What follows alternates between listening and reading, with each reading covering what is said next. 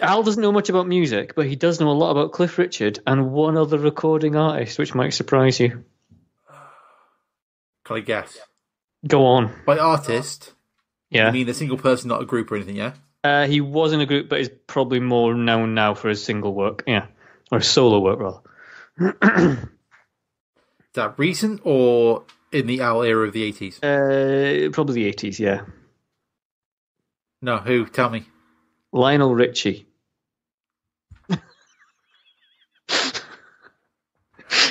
Wow. It's weird. It's just wait, weird. wait, it's in my head. wait, ready for it? Go on. Al Night Long. Yay! That's the name of his autobiography. it's gotta be. It's gotta be. Tell him when he writes it. Call it oh, Al Night Long. Or it's gonna, it's gonna be. Um, yeah, I'll try. There's many titles we could have for Al's autobiography. 'cause Dal it's- sing on the ceiling. Yep. It's all. It's it, they write themselves. They write themselves.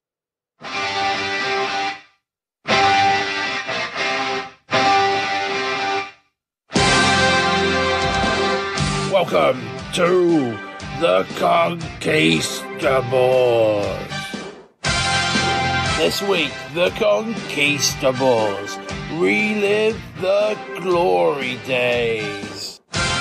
In the Great American Bash, 1989. Making their way to one of the rings tonight. Straight from hell, the great Mew and Taylor. The Total Package, Cameron Phillips. And Bam Bam Phil Doyle.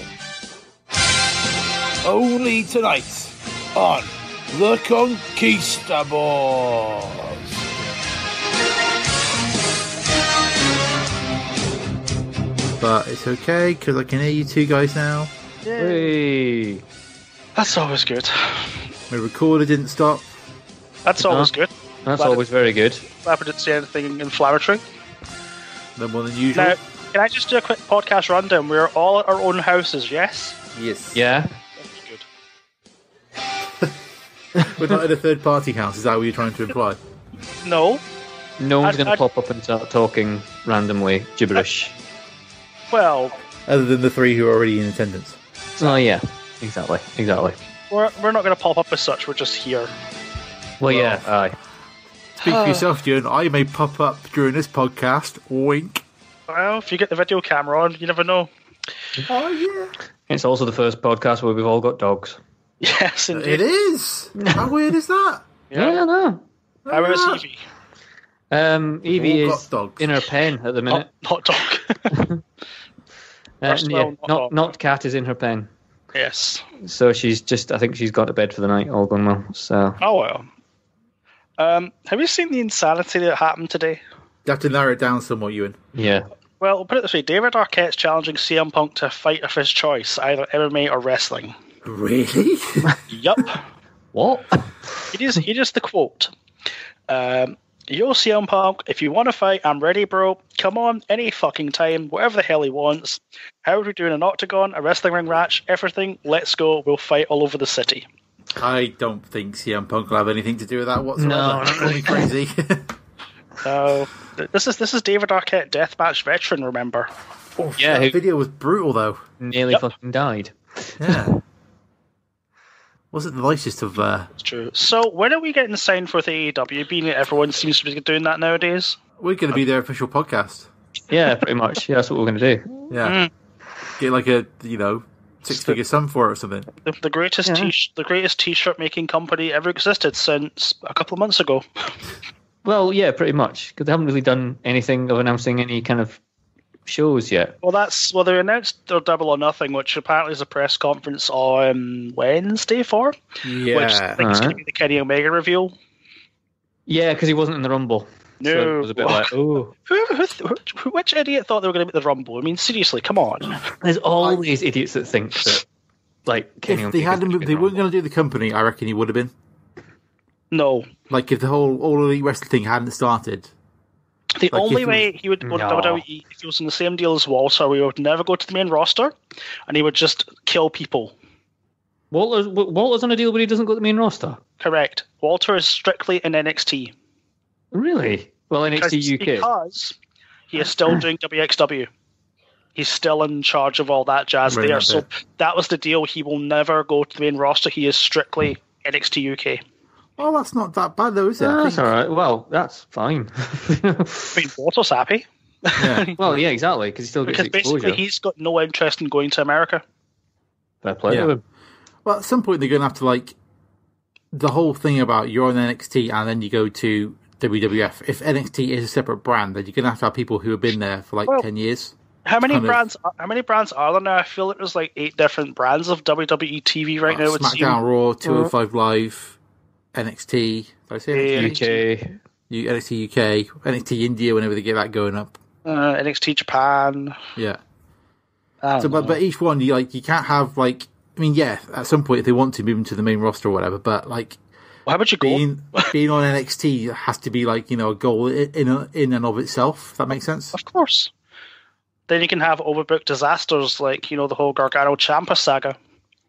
It's not overbooked. It is. It don't, is. You, don't you start, Phil. Come on. I on. love it. The whole thing's been brilliant. Oh, I find it up. well. I, I can right. there- There's good bits of it, but um, I They're, think just, that they're, they're when you 25 minute matches. when you are now friends with the guy who two months ago, three months ago, you were smacking his head off a concrete floor, and he was threatening to assault your wife. No, just no. just no, you wouldn't. You, you unless it's a massive thing, and eventually Gargano is going to turn around and say, "I want the NXT title," and they're going to have a title v title match. I think that's what's. I think that's where they're going based. Then on that makes sense as to why Gargano would currently be doing this and Well- be almost leading Ciampa on. I think Yeah. it's more. I think in Ciampa's world, it's Ciampa leading him on, but eventually, I mean, it's, it's Yeah. obvious where it's going. I mean, it's, it doesn't take a genius to work that out, but I love Ciampa. Ciampa's brilliant. I just, I'm not going to get into a WWE rant. I could do that all day, but let's not do that. No, let's Let's not. talk about some other wrestling instead. Let's talk about a fucking terrible opening match. Oh, come on. Come on. Yeah, it's bloody awful. Don't play the role of Alan, this Cameron. This this one What? can't be saved. What are we talking about on this stupid wrestling podcast this week, month, Well, quarter? this week, this week makes it sound like we're, we're, we're doing this on a weekly basis. Yes. Um, well, I say, this season? last this season, yeah, this year.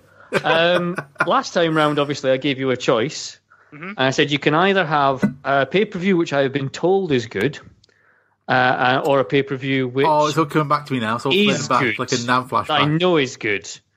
And if you went for uh, you, we know is good, then this would have been the 2000 Royal Rumble.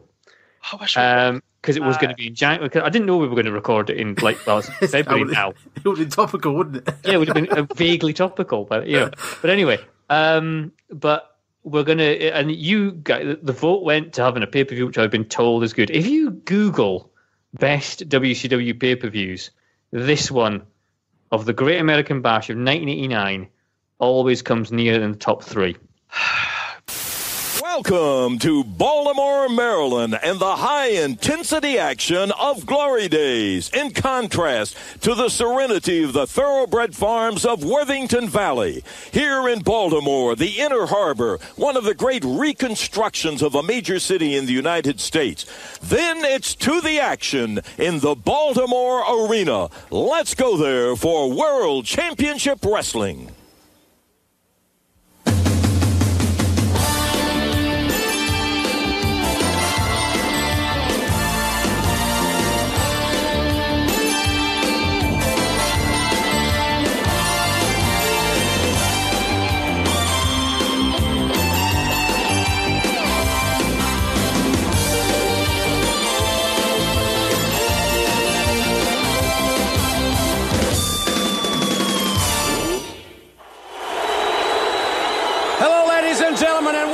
Welcome Great American Bash Glory Days. We are coming to you live from the sold out Baltimore Arena here in Baltimore, Maryland. This is the Great American Bash Glory Days.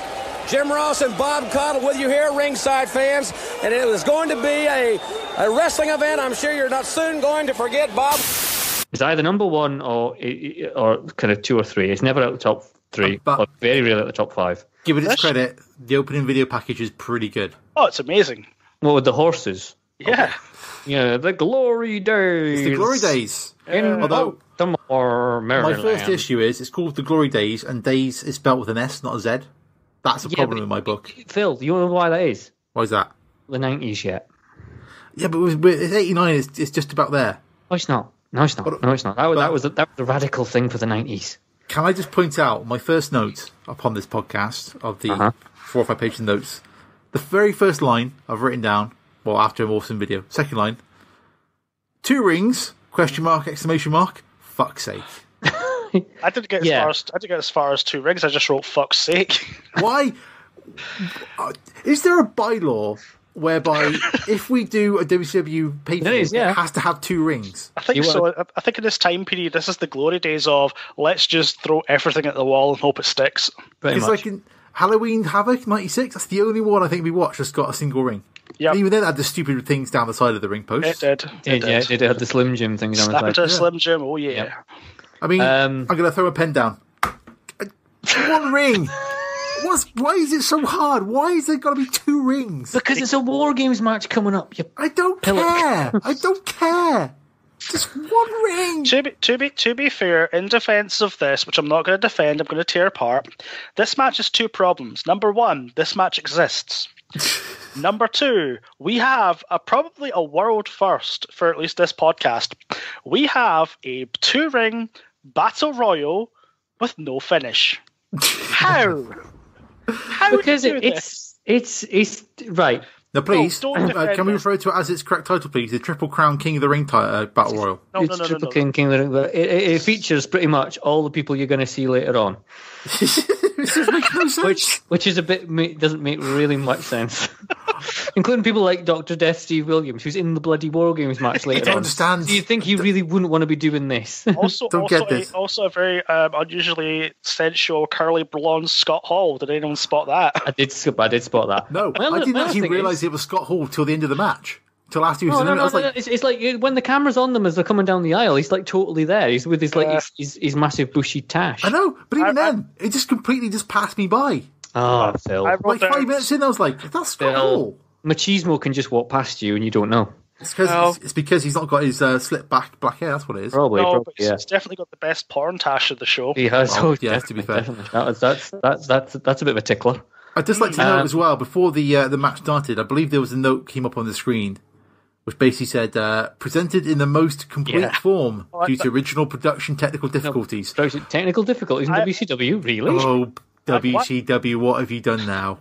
Why couldn't have this match been the technical difficulty not never seen? well, Well, let yeah. me say that it wasn't because we have the fucking rules explanation about the complicated battle royal system they've got. Ladies and gentlemen, the first event of the Great American Bash Glory Days is the finals of the $50,000 Triple Crown Battle Royal. Now, ladies and gentlemen, momentarily, the finalists in this extravaganza making their way towards the ring. They will all be entering one ring. The only way to be eliminated is to be thrown over the top rope and into the second ring. The last remaining wrestler in the first ring will be our first winner. As the wrestlers hit the second ring, a second battle royal will ensue, following regular battle royal rules. The only way to be eliminated from the second ring is by being thrown over the top rope into the floor. Finally, we will have two winners, and they will have at it, and they will win $50,000. Yeah, and I think I think WCW probably would have benefited greatly in this era by having the rule if you can't explain the rules sufficiently in ten seconds, Or in less than one screen of text. or unless the one screen of text, it's not worth doing. No. It's just not because this is what right. It's two rings. Yeah, mm-hmm. they all get into ring one. yeah, You have to be eliminated into and ring two. into ring two, which basically means you can only be eliminated through one side of a four-sided ring. We've had Yeah. this argument at this point before. Yeah, yeah, we've Yeah. made this point before, and when we had this this happen before. And also, there's the gap between the ropes, so you kind of like land on the apron between the two. The yeah, two you can. aprons, So you have to uh, basically be hurled bullet-like. across the- you know, which will. I think we come to that later, don't we? I But uh, think, I carry think on. is, is that not the way that is, is it not the way that Brian Pillman gets eliminated? It is. Um, yeah. So anyway, Like a it's yeah, like a lawn dart, Rey Mysterio style with Kevin Nash. only not into the side of a production truck. Um, so then once once you're eliminated, you're in ring two. Two, So there's yeah. a battle royal. There's kind of like the losers battle royal com- commences in ring two, and then you can be eliminated by being dumped out over the to the Yeah. arena And then is floor. it the which last person left in ring one fights the Yeah. last person left in ring basically two? the last Yeah. person left in ring one can just sit back and watch whatever's going on in ring two, Yeah. and then the winner of the battle royal in ring two then has a standard one-on-one match with the winner in ring one, Ring one. and then they're crowned And king of Yeah. the Yeah. battle There, royal. there is there is one major flaw in all of this. that it's got two rings. Apart from that, Okay, cool. one? Yeah. the winning team. ah, can we just go over the finish because I just want to get this out. No, I want to get. No, there's a few bits I want to touch on. First of all, All they, all, right. they all they all come to the ring uh, the ring wearing a crown. yeah, Yes. I don't, I don't, I was just about to say, I don't understand that bit. Why they all got crowned? Because surely then you, you it's the triple ring king of the ring. So if they're all kings, what's the point of them anyway? What's the point of any of this? Um, the crowd is actually surprisingly hot for this match. Well, to be fair, it is the eighties. There's not much They're else. hot going. for a lot of the, the, Yeah, it's the stuff going on tonight. Um, there's a quote a brief from um, Jim Ross that says, uh, "Can you believe the action in the two rings?" Yeah, and I can't follow any of it either. No, I don't know what's going on. this, I don't know why you would put this on first. I've no Don't idea why. Don't get it. And then, um, oh, it's just, it's just, Fucking terrible. yeah. It's just, it's just It's an absolute. mess. It's an absolute mess. It's a schmoz. It ends when obviously uh, Sid Justice wins ring one, and then Dan Spivey ends up winning ring two. So the you know the the skyscrapers are about to fight, and the crowd are really really into this. And then Teddy Long, the manager, goes, "No player, it ain't gonna be fighting. We're gonna claim Yeah. the money ourselves because the winner gets gonna get was it fifty grand? Fifty grand. So instead of grand. so, Teddy Long saw the money and went, you know what? We could both be winners. And the crowd shit on this Yeah. finish. Yes. And Well, they, they they shit on it so much the tape skips. yes. That's how that's how bad the finish is. It makes the tape skip. Is this probably the moment that I've written on my notes? Time has bent in on itself. Yeah, so it goes no, just wait no. for to here be like, hello, I'm here to fix this anomaly. So what we'll do is split the $50,000 with a winner. Finish uh, the winners of the Battle Royal. Make it to the interview area.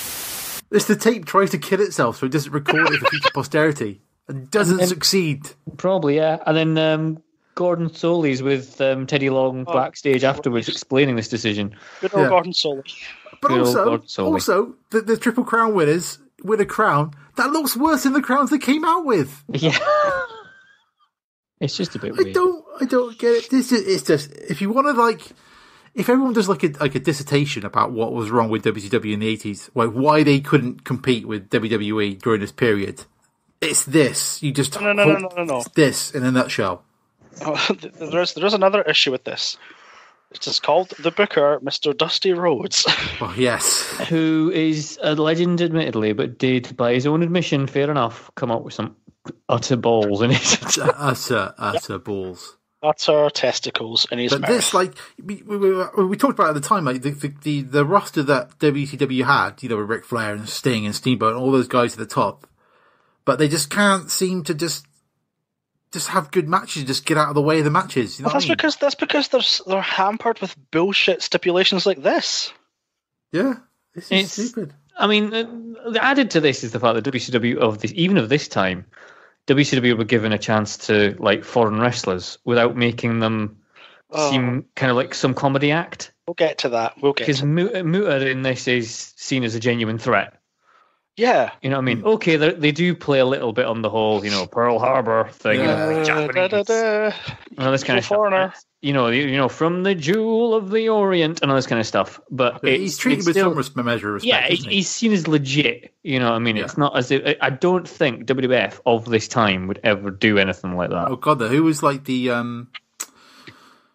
Oh, well, Ricky Steamboat would have been over there, wouldn't he? If they'd Yeah, yeah, yeah, Yeah, the but guy at Ricky the time Steamboat, Steamboat wasn't that with long. the dragon, wasn't he? He's on the card tonight, obviously, but Yeah, I mean, like I can't think of any other kind of age apart from Mr. Fuji. Well, that's Like- the obvious one. exactly, he's like What you know, other Asian kind of star wrestler do they have over there? They didn't have any. What, in kind 1989, 1990 in um, in WWF. WWF. Oh, bleh. Uh, Like I remember uh, they had like some Japanese women in and stuff, but that was like in the mid nineties. That was That was- that was for like their mid head, wasn't it? nineties because that was when they were getting that was when they were getting Kano folk in and wrestle stuff. under uh, Alundra Blaze, wasn't it? Because they ran out. They didn't have any of their own people to wrestle. yeah, but yeah, like you say, like there wasn't anybody that they that, like a foreign character were treated with respect. Even the Mounties, God, God love them, yeah, exactly. respect. There would always, you know, if you if you were if you were non-American in WWE at this time, you Hmm. were seen as something of a bit of a joke, Yeah, There were no, yeah, you were, and you were there to kind of get shown up. The only kind of exception to that, I would say, is if you, I'd probably say if you were a non-English speaker, because I was going to say British Bulldog was kind of seen as legit. well, Yeah, yeah. some days he was probably a non-English speaker, but for different reasons. Whoa, Ooh, come on, yes. dynamite still fresh in the ground. Be nice. No, Well, good because he was a dick. That's fine. exactly. Yeah. Anyway, Opening match is shit. The So opening match is, the- well, I so- think this is. I don't even think this is the opening match. This is something that they tack on if I to like for the This is- presentation. This is what would have been on the WWE pre-show. This would have been the pre-show. Yeah, Yeah. This is, uh, you know, this would have. This is the pre-show before pre-shows were a thing. yeah, what, what makes me giggle is that two of the guys get eliminated, basically just come straight back out for another match. Yep. Yeah, this is um, Brian Pillman and uh, Oh. Wild Bill Irwin. Wild Bill Irwin? Why was he wild Who precisely? I don't understand that. Now, is Wi- I was thinking about this the other day. Is Wild Bill Irwin not? Um, did he not play the? Am I getting things wrong here? Did he not play the Goon Hold on. in the I was- WWE? He I'm did, just- yeah, he did. Oh my god! What? if- I'm not sure it's an upgrade or a downgrade. Hold on, I'm just looking at it here. Where, where, is it? where Very are we? good. yeah, you're right. Yep, it was the good 1986. I bloody thought it was. Came back him. for the uh, WrestleMania X7 gimmick battle royal. One of the best battle royals ever known to mankind. Not just for the Iron Sheik taking 25 minutes to get to the ring. Not No. being able to obviously win because he can't, they Precisely. can't throw him over the top rope. Because he can't take a bump. Now, I Um, quite like this. The, the the difference of styles this match I thought was quite interesting because Bill Irwin is like your old like barrel chested Yeah. tough guy kind of wrestler, and Brian Pillman is like your archetypal what the wrestling's going to be in probably about four or five years. Yeah, exactly. Right. Brian Pillman was probably well ahead of his time on that. Yeah, so it's interesting to kind of get those two together in the ring and see that kind of clash of styles. But Yeah. other than that, I don't think there was much more interesting about this one. Well, no, no, no, no, no. This this does contain our first um, sports related item where Wild Bill decided to javelin Pillman into the other ring. That's the yeah, yeah, that's the one. Yeah, meanwhile, a very also porntastic uh, Nick Patrick's the referee here. I keep forgetting he's like he keeps knocking around in this kind of period Yeah, he just he doesn't go Oh, away. yeah. because obviously In- this was when he was just a, he was just a ref, wasn't he? He hadn't become like the Yeah. Nick Patrick character. He would, he would Like a, a Nick but- Patrick NWO official referee kind of thing. Yeah. yeah. So there we go. So yeah, I I love the way during this match, by the way, that Irwin's constantly shouting about Brian not flying. Yes. It's like you know, flying, Brian. You're flying. It happens so many times. yeah. so so so many times. Um, but yeah, the, the end of this match is like one of those like spots that now would be like, yeah, whatever. But back then, the, the crowd go absolutely freaking berserk, and Jr. sells it like absolute amazement. He's on the other ring. He can't oh, jump that far. all the way across in the other. Oh, man!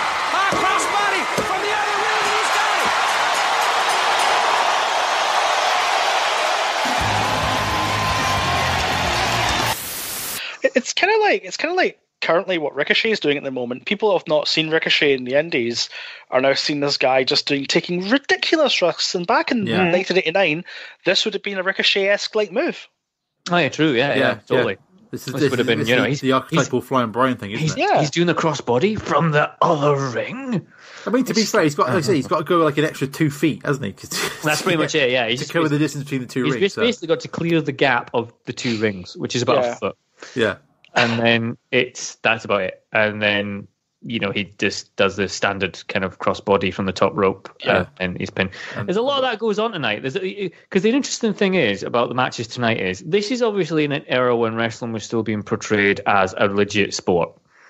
yeah, especially in, a- the, in WCW. Yeah, especially in WCW, which is you know the you know the proper wrestling kind of thing in inverted commas. So there's a lot of moments at the ending of these matches tonight where it's like finishes seem to sort of come out of nowhere. Yeah, and kind of be like, oh right, oh is that it? Oh, but okay, you we're got to remember that yeah, you got to remember that this was obviously them portraying it as a legit sport, so there could be like snap, sudden ending Yeah. to the matches look more realistic. And like, I think the whole the whole false finish thing wasn't as embedded as in wrestling as it is now, is it? I suppose No. back then. no, no, not really. Okay, this is some of the more sort of southern wrestling where once it's once it's over, it's done. You're not going to get false finish. You're not going to get once Yeah. they're going home. They're going home and come hell or high water. Yeah, especially like once a finisher goes in, like that's it. that's it. Yeah, dead. Yeah, Yeah. Kind of like Japan in that respect. But Yeah. once the guy hits a finisher, done. yeah. So yeah, this this is this is okay for effectively this is your opener. If, if that was the opener, fine. This is all right. Yeah, but and if it's in one ring, even better. well, no, Yeah, well. actually, it was in two rings technically. They do switch about halfway through, and then Yeah. they just go to the other one, and nothing's ever said about it. Because it's, it's exactly the same, isn't it? It's still it's like it's like one's on fire and one isn't. That That would would be be, well, if interesting. it was Japan, one would be in fire, one would be covered in barbed wire and a Yeah. piranhas in it or something. Good Yeah. old FMW. Exactly. So this would be a fair sort of standard contest. There's nothing really. There's nothing on the line. No. It's, it's quite. You know, it's, it's a good The two workers doing a good match. match. It's good. Two workers doing a good match. Flying Brian gets to show off some of his shtick. Um, you look at him, and, but you look at him now in this sort of video, and you can't really believe that what in about six, seven years after this, he'd become like loose cannon Yeah. Brian Pillman, And, and it's Charlotte- the two Charlotte- just seem night and day. It's it is like a switch almost went off one day, and all of a sudden we got the loose cannon. yeah, exactly. As far as like you know, massive changes in wrestling gimmick, this That's, is one that's of the definitely biggest. one. you know, alongside things like you know um, GBL becoming Yeah. John Bradshaw Layfield, Yeah, and um, you know, and, and another one that's coming up in well, about a minute's time. Um, but uh, anyway, before that, um, here's Paulie dangerously oh, he's, he's backstage with old Gordo, isn't he? talking about uh, Jim Cornette's knee is still knackered after Starcade '86. yeah. What happened to Starcade '86, ladies and gentlemen? It was the scaffold match. Correct. Uh, Oh, Cornette God, that bump was the off one. Cornette scaffold took a bump and off the scaffold and bust his knee completely. She's still suffering to date. Yes, apparently he ripped up his ACL, wasn't it? And yep. well, and he's like still apparently, you know, had an operation at the time, but still kind of can feel it some days. Um, so, but to be fair to them, if you, you know you're gonna, you know, call back to something that happened, you know, three years previous, then you know, all power to you. Yeah. You know what I mean? Because it's a legit point. You know, he did bust his knee. He's not a sort of a wrestler, and that's what Yeah. Paulie Dangerously is going to work on. You know, at the moment. Yeah. Um, so we now have uh, the dynamic dudes such a name. who are See, from. he, he, he says it's not the 90s. Dynamic Dudes, there's nothing more 90s than that name. Yeah, but we're just on the verge of Ninja Turtle speak, aren't we? Yeah, This So- dudes. And the Simpsons What a is just starting up. Um, so uh, I just put they are from the city of sunshine. Where? I'm gonna guess Orlando. Orlando, LA. the where, they can, where, where, where people can be dynamic and dudes They can be doodly dynamic. together Uh, with their mullets. Yep. Uh, I just put like. I just put this is awful, and then I put is one of these guys Shane Douglas? Correct. Who is the other guy? Uh, John Laurinaitis, isn't Johnny it? Ace. John Correct. Laurinaitis. Johnny Ace. Yeah. So I love Big the in fact that Japan. Before this match they start they get some kid out of the audience and try and play frisbee with him, and he's not having any of it. No. Why would you wonder? They look like paedophiles. I mean, come on. they're, they're going to entice him out back in with the boys. I mean, it's Well, weird. They're All pe- dynamic, they're dynamic, not for just the reasons in the ring. Yes, if only not if, right. all, if only all paedophiles identified themselves by dressing entirely much in easier, neon. wouldn't it? well, technically, Savile did. Oh, Yeah, God. technically he did. Yeah, and he was a wrestler too. Exactly. Yeah. It's, it's the hair. Like that, you can't have that hair and be normal. I'm sorry. I sorry. don't think so. Um, yeah, I'll just put the, the skyscrapers win. Uh, Yeah. No one There's a- Hooray. I did note as well, like um, by the other ring, there's no security barriers. Mm. It's just like the crowd, which seems uh, ideal. Well, Uh, but through this, like the crowd seem really hot for Sid. Sid, is he, Sid, Sid Vicious right now, isn't he? yes. Yes. Like, like Sid was liked by people. Slamming his head into the foot of Big Sid Vicious. And, it- and the crowd ready to see Big Sid. Six feet nine, 316 pounds. Oh, and I wrote down about uh, uh, Sid comes in with a kidney grip as well. Because we had um, what was it we had with the, with the neck grip for like half an hour? Was that Yokozuna WrestleMania 10, wasn't it? Yeah, that was Yokozuna blown Did up. the nerve pinch with the nerve hold, and so it's just like right, let's let's get a kidney grip. Oh, there you go. Evolution in wrestling, folks. Good grip of those old kidneys. Spivey, after nearly killing somebody in the battle royal with a powerbomb, nearly killed Shane Douglas with a powerbomb. yes, he did. It was very. I think I just wrote down that was sloppy. He Yeah, just, yeah, he he just doesn't do a drops good on his head. powerbomb. He just I mean- drops him on his head. It's I hellish. appreciate he's been stood up and walking around for like 10 minutes, so he's probably very tired. Yeah, But it's not a good powerbomb, is it? it's it's a it's a classic pro wrestling Noah type power powerbomb where you're convinced the person's just died in the ring before your eyes. Like that. That's where spinal stenosis comes from. Think Yeah. of that. Two more of those, and you get edged. You know what I mean? Um, there's a moment in this where uh, JR has a little dig up seemingly at, the, at Vince. But these men are athletes. They are very much indicative of the style of the NWA. That's where the NWA differs from other federations. It's not snakes. It's not. It's not pets. It's Uh, athletes, not, man. It's not bodybuilders that, that uh, lay under a heat lamp. These are real primo athletes. It was. It's like, mm, was that was that well hidden enough? I don't think so. Uh, I It was don't think bl- so. No. Blatant without saying it directly to the individual. Yeah, but Very you much. know, we all remember the body off with Ultimate Warrior and Rick the, Rude. bod- Come on. the body off. That sounds terrible. what terrible. was it called? Pulls off, wasn't there? Pulls Hose down. off? No, it the was. um, The- Horribly Yeah. uncomfortable. Ten minutes at rest at that one Yeah. show. Yeah, that was that was was it Rumble '89? I think it was Rumble 89, Yeah. I think it's more like a uh, like a piece of like homoerotic installation art. To be It's fair, no, it's No, nowhere near no, the no, no, no, nowhere no. near the narcissist. That was That's that was, true. That was the That's problem true. with um, with um, Bobby the Brain yeah. Yeah. and that curtain that just kept. Look at the cars! Look at the cars! Show me one again, Lex. Um, yeah. So yeah, yeah, it's, I just, yeah, you're right. Spivey, terrible power bomb at Johnny Ace, terrible looking one. Yeah. Anyway, so the the skyscrapers win because they seem to be obviously building those up guys up quite nicely. Yeah. Building Uh, skyscrapers, ho ho! But, Hey! but there's a there is a we want Sid chant, which is just yeah, it's Uh, no, what, to you did, see. what, what you did here is we want Sid to go away. Well, it's- it's just, like if Sid was done right, because I mean, when he was in WWF as Sid Justice, like I remember him being, I remember being a fan of Sid because he had a really good choke, uh, like powerbomb and stuff, and his choke slam was really good. Yeah, But I just think he just wasn't managed. Like the whole thing of him being a heel when he pulled Hogan out of the Rumble and stuff. I don't know. It didn't, just he didn't wasn't land right. managed. Was he not managed by Harvey Wippleman at one Well, time? you know what I mean? he The was. character, the booking. He was. I think the problem with him a lot of the time he was he wasn't managed like outside of the ring very well, hence why he Hmm. was as insane as he was. Oh, like stabby scissors. Is that what we're talking Yeah. about? Yeah. Was that uh, who did he go after? Was it Arn Anderson? I think it was Arn Anderson, Yeah, yeah. he went after. Was, that was in the UK, wasn't it? Was in the UK. Was that, yeah. was that like crazy flight with like Ric Flair was like going around with his robe naked underneath and stuff? Um, Ric Flair probably always went around with his robe naked underneath. to the be flight fair, from hell. you know that's that's that's Space Mountain. Anyway, Um, we- we've got a five star classic next. Come on. Oh, yeah, well, yeah, no, yeah, no. yeah, yeah. I am not going to completely shit this match.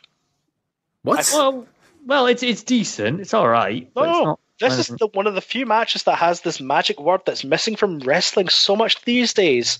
Psychology. Steroids. Oh, sorry. Shut up, Phil. Steroids. No. This match contains psychology that I actually got up and applauded at when I saw it because so far I'd seen absolutely nothing that would lead me to believe WCW actually know what they're doing. It was the moment in this match, this tuxedo match, I should mind, between Jim Cornette and Paulie Dangerously, where Mhm. At the start of the match, Cornette's getting his offense in, but then Heyman starts attacking Cornette's knee with his cell phone. Brilliant! Yes. Brilliant! Harken back to what they said in, earlier on the night about the uh, his old knee injury. Exactly. I was so happy that this terrible match at least had something in it. Yep. Yeah, but the rest of it though is Pretty Homoerotic in front of 10,000 people. well.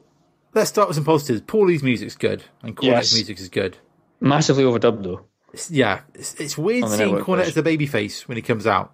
Yeah, they're both. Neither of these people are natural baby faces. no. And um, I think they describe Heyman's punch as a somewhat feminine right hand. but there, Paulie with a feminine right hand. Yeah. That's, this was Which brilliant. Wow. Starts choking him out with his cummerbund, and it's Yeah. just Yeah. What's the what's the powder supposed to be? Because at one point Heyman just uses powder randomly and just tries to like I thought it was like the old uh, Japanese nice. salt stuff. The, That's what I thought old it was as well. salt. Yeah, I just like put. I've just put there is the powder cocaine. No, because if that was the case, Sid, Sid would be out looking for it. well, true, true. True. Um, I'm assuming this is no DQ, considering like the way the phone's being used and there's powder all over the ring. oh yeah, yeah, well, yeah, if yeah. the well, match we have to strip your opponent, why would there be rules? Oh, the, got that written down. I think it's Jim Ross says, uh, "Let's see some clothes coming off." And I've written down, "Let's not." This is obviously during Jim Ross's I'll not so well written about hideous period. you know, I mean, you, you got to feel sorry for like you know, um, female wrestling fans of a certain persuasion who probably really sick of having you know, the, you know, back in like the late nineties, early two thousands when you know WWF were putting on bra and panties matches and all this kind of stuff between like Stacy Keibler and Torrie Wilson and all this kind of jazz. This is their equivalent, Yeah, and I feel really, Heyman. really sorry for. them. well, to be fair, if it was Ric Flair in this kind of match, he would just come out naked because why not? why not? Though, Probably. to, being fair to Heyman, when he is stripped off and loses the match, he he he goes. He is Oh, yeah. gone. He's like out of that ring and like he's like Yeah, off yeah. like a shot. Yeah. He's straight down that aisle, He's gone. but never mind. But yeah, Let it's- it flowing gloriously behind him as he runs down the aisle. I don't think either man would describe this as the classic that they would be. Yeah. No, Nope. this, this is not the match they would die in hell for. No, not really. But there you go. Um, next, we have Gary Hart with Gordon Solie, who details the fact that uh, tonight Muta will beat Sting because Muta is ready and he's calling in the powers of the Orient. yes. So he was getting some Yes, dinner before the match. Whatever the hell they must be getting some barbecue spare ribs or something. I don't know. Yeah. Yeah. Get some teriyaki out. Yeah, pretty much. Getting Nice. some sake and uh, having a good old time with it. What other Japanese cliches can we think of? Some sushi, yeah. Sushi. Some, was- some wasabi. Hand Yes. job in the back room. Pardon? What?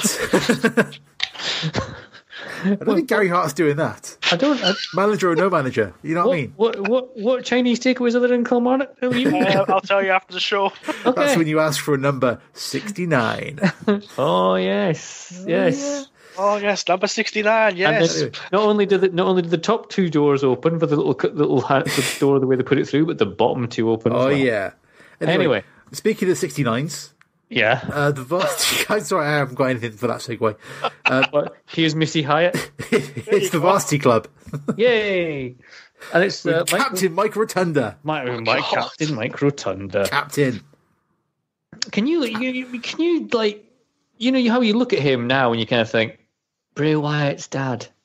Oh, God. Weird, isn't it? I- No, I I- think no. Bo Dallas' is dad. Come on. Uh, yeah, well, true. Aye, the same thing. Bo Dallas' dad as well. Yeah. I remember watching this first time round, and I watched it when I skimmed through the pay per view again because it had been three months since I'd seen this pay per view. Fair play. So I skimmed through it again last night.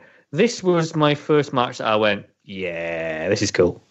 Well, the, I think it helps that the crowd loves the Steiner. Yeah. Oh yeah, yeah. Because this is literally this is just over four minutes. We're just about four and a half Yeah. minutes. This match. It ain't a long one. And you've got probably like three and a half really good workers in there. Yeah, I mean, this is this is Scott Steiner's first pay per view Is it? Is since it they teamed up. Since the Steiners became a team. Really? Wow. Yes. I didn't know that. Did not know that. This is Scott's first time on pay per view and also the first time that the Steiner brothers, as we know them, teamed up. Wow. So what was it? I Just did- Rick before this? Just- it was just Rick, I assume. And this is obviously Scott must have joined the fray. I don't know what the timeline is, but it's to, That's to crazy. me So, so why is the crowd so hot for him then? Just because they like Rick? because they were desperate for anything that wasn't homoerotic or fucking terrible, so they will take anything at Yeah. this point. Euan, you say that. Look at look at the, the how Scott's built. That's homoeroticism right there. Come on. Well, I wasn't going to say that out loud, but yeah, he was a nice man. Although both of them take a very rough tumble to the floor during the match. I think Scott Yeah. does one, and then Rick takes one. They do a bit, yeah. And Um, I, I think I'm pretty sure Rick comes back quite angry about this, and delivers some Probably, yeah. receipts at some point. I think he does. I also like the fact that, you know, within about 20 seconds of the match beginning, all four members of the team are just brawling on the outside. Yeah. Oh yeah, yeah, yeah, yeah. yeah. There's a cracking like this. This has got like a massive pace in it. Like as soon as it starts, it's just they're just gone. Oh, this Yeah. is this this it Four doesn't minutes, hang around. right? Just get everything in quick. If, if I give you some time, gentlemen, the uh, the tuxedo match was six minutes twenty two. This is four minutes twenty two. Oh, Holy that's, shit. That's what you so want. this isn't this gets two minutes more than the tuxedo match did. Yeah. Two minutes less, rather. Two minutes less, I was going to say. Yeah, yeah, yeah. yeah. But for that, it's it, for that it's it's a cracker though for the four minutes. Oh yeah, That's yeah, yeah. It doesn't. It, it, it, it's not wasting time. It's Yeah, just like I say, you literally know- going about. Rotunda's a great worker. Sullivan's a great worker. You know, Rick's a good worker. Steiner can wrestle. He's, he's there, but it's not terrible. He's not stinking up the place. He's Yeah, I perfectly think- competent in I think role. with Scott Steiner, I think I think a singles career wasn't the best thing for him, No. or he didn't. The transition for him being into a single wasn't as good as it could have been. Mm, Because obviously, you know, as a tag team, he was, you know, he a lot of his flaws could be hidden by you know tagging Rick in and doing some other bits. But as soon as he was kind of by himself, the gaps in his game were kind of exposed. but, but to be fair, if if this if Scott had never gone single, we never would have had his glorious TNA run and his Well- glorious promos that made absolutely no sense to anyone whatsoever. I mean, it swings and roundabouts, isn't it? What can I say? Yeah, this is true. Can't win them all. But the Steiners do win this one. Yay! Boom. There's your They do, yeah. But it's like both Steiners pin Sullivan after uh, Scott comes off the top rope. Another high cross body flying And Scott another high Steiner. cross body, it was like just from the standard top turn turnbuckle this time around. Yeah. Um, but yeah, this this is probably the first match of the night where you kind of go, yeah, this is pretty. That was good. Oh yeah. That Well, was a- I was. I was, I was thankful for that at this point in time. Because I was about to go. You know, by this point, I was about to come on the time we recorded and just berate you for even suggesting this. It's like we said. I said earlier. Like the roster is really good. It, the roster's Yeah. great. It's just they're hampered by It's the whatever booking. booking. Yeah, it's kind of like what we're experiencing right now. If you just get out of the way, just put the guys in the ring, let them wrestle, and just get out of the way of it, then it's great. Yeah, But what can you do? you know this is why I watch wrestling. I'm not there for like overbooked bullshit. Hmm. I just want two men to, or women. I don't care. Whatever. Have a horse in there for all I care. As long as Wow. I some. I don't. You know. DDT's Horse probably booked in a horse. cell. Horse in a cell. No, wait. That reminds me of Kennel from Hell. Let's not do that. No, no, no. Hell in a horse. Hell on a horse. Hell on a horse. Hell in a horse. There you go. Hell, hell on a horse. That's a gimmick that no one's done yet. Oh god, I can imagine Vince going, "I like it." oh, Can't, be no. worse, than- can't be worse than the Punjabi prison match, anyway. So Don't. Let's not challenge them to anything like that, please. anyway, Gordo's back. Hey. He's With- with, uh, Sting and Eddie Gilbert. he looks like a trucker. He just wandered into frame. He did a bit, yeah. It's like, should he be there? Oh, actually, he's a wrestler. Okay, He was just dropping off deliveries. He was driving the Lex Express. it was early. He decided to come. He's, he's, he's, He's gonna coming come in back. early. He's going to come back in four years. Yeah, Oh, but that's it. But, but, like Sting's gone and he's out to the ring. That's it. Yeah, he's yeah. Quick, quick promo, and away we go. We're off to the Yeah. to the ring. Muta gets a Um, gong when he comes out. Bit of racism, but fair enough. Oh, His entrance is the most stereotypical thing ever.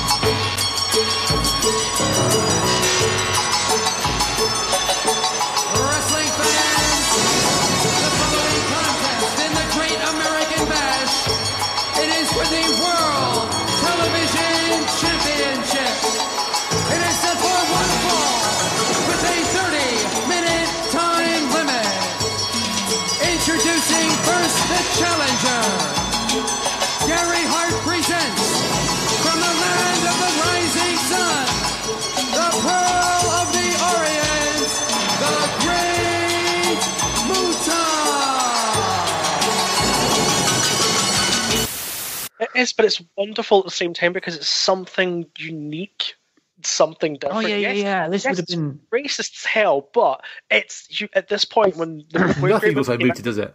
no, you, you knew shit was getting real when Muta came out because it was something so drastically different to the usual that you were seeing, and the crowd knew that as well because at this point, Muta hadn't lost the match the entire spring. So Muta was as hot as he could get coming into this match against Sting. Mhm. Yeah, and Sting's hot as well. I mean, the crowd will go nuts for him, don't they? Yeah. Even Oh, yeah, though his they- music is resolutely shit. Is it the man Somehow called Sting? he can overcome that. Man called Sting, ding, ding, ding, ding. Man called Sting, ding, ding, ding. It's terrible.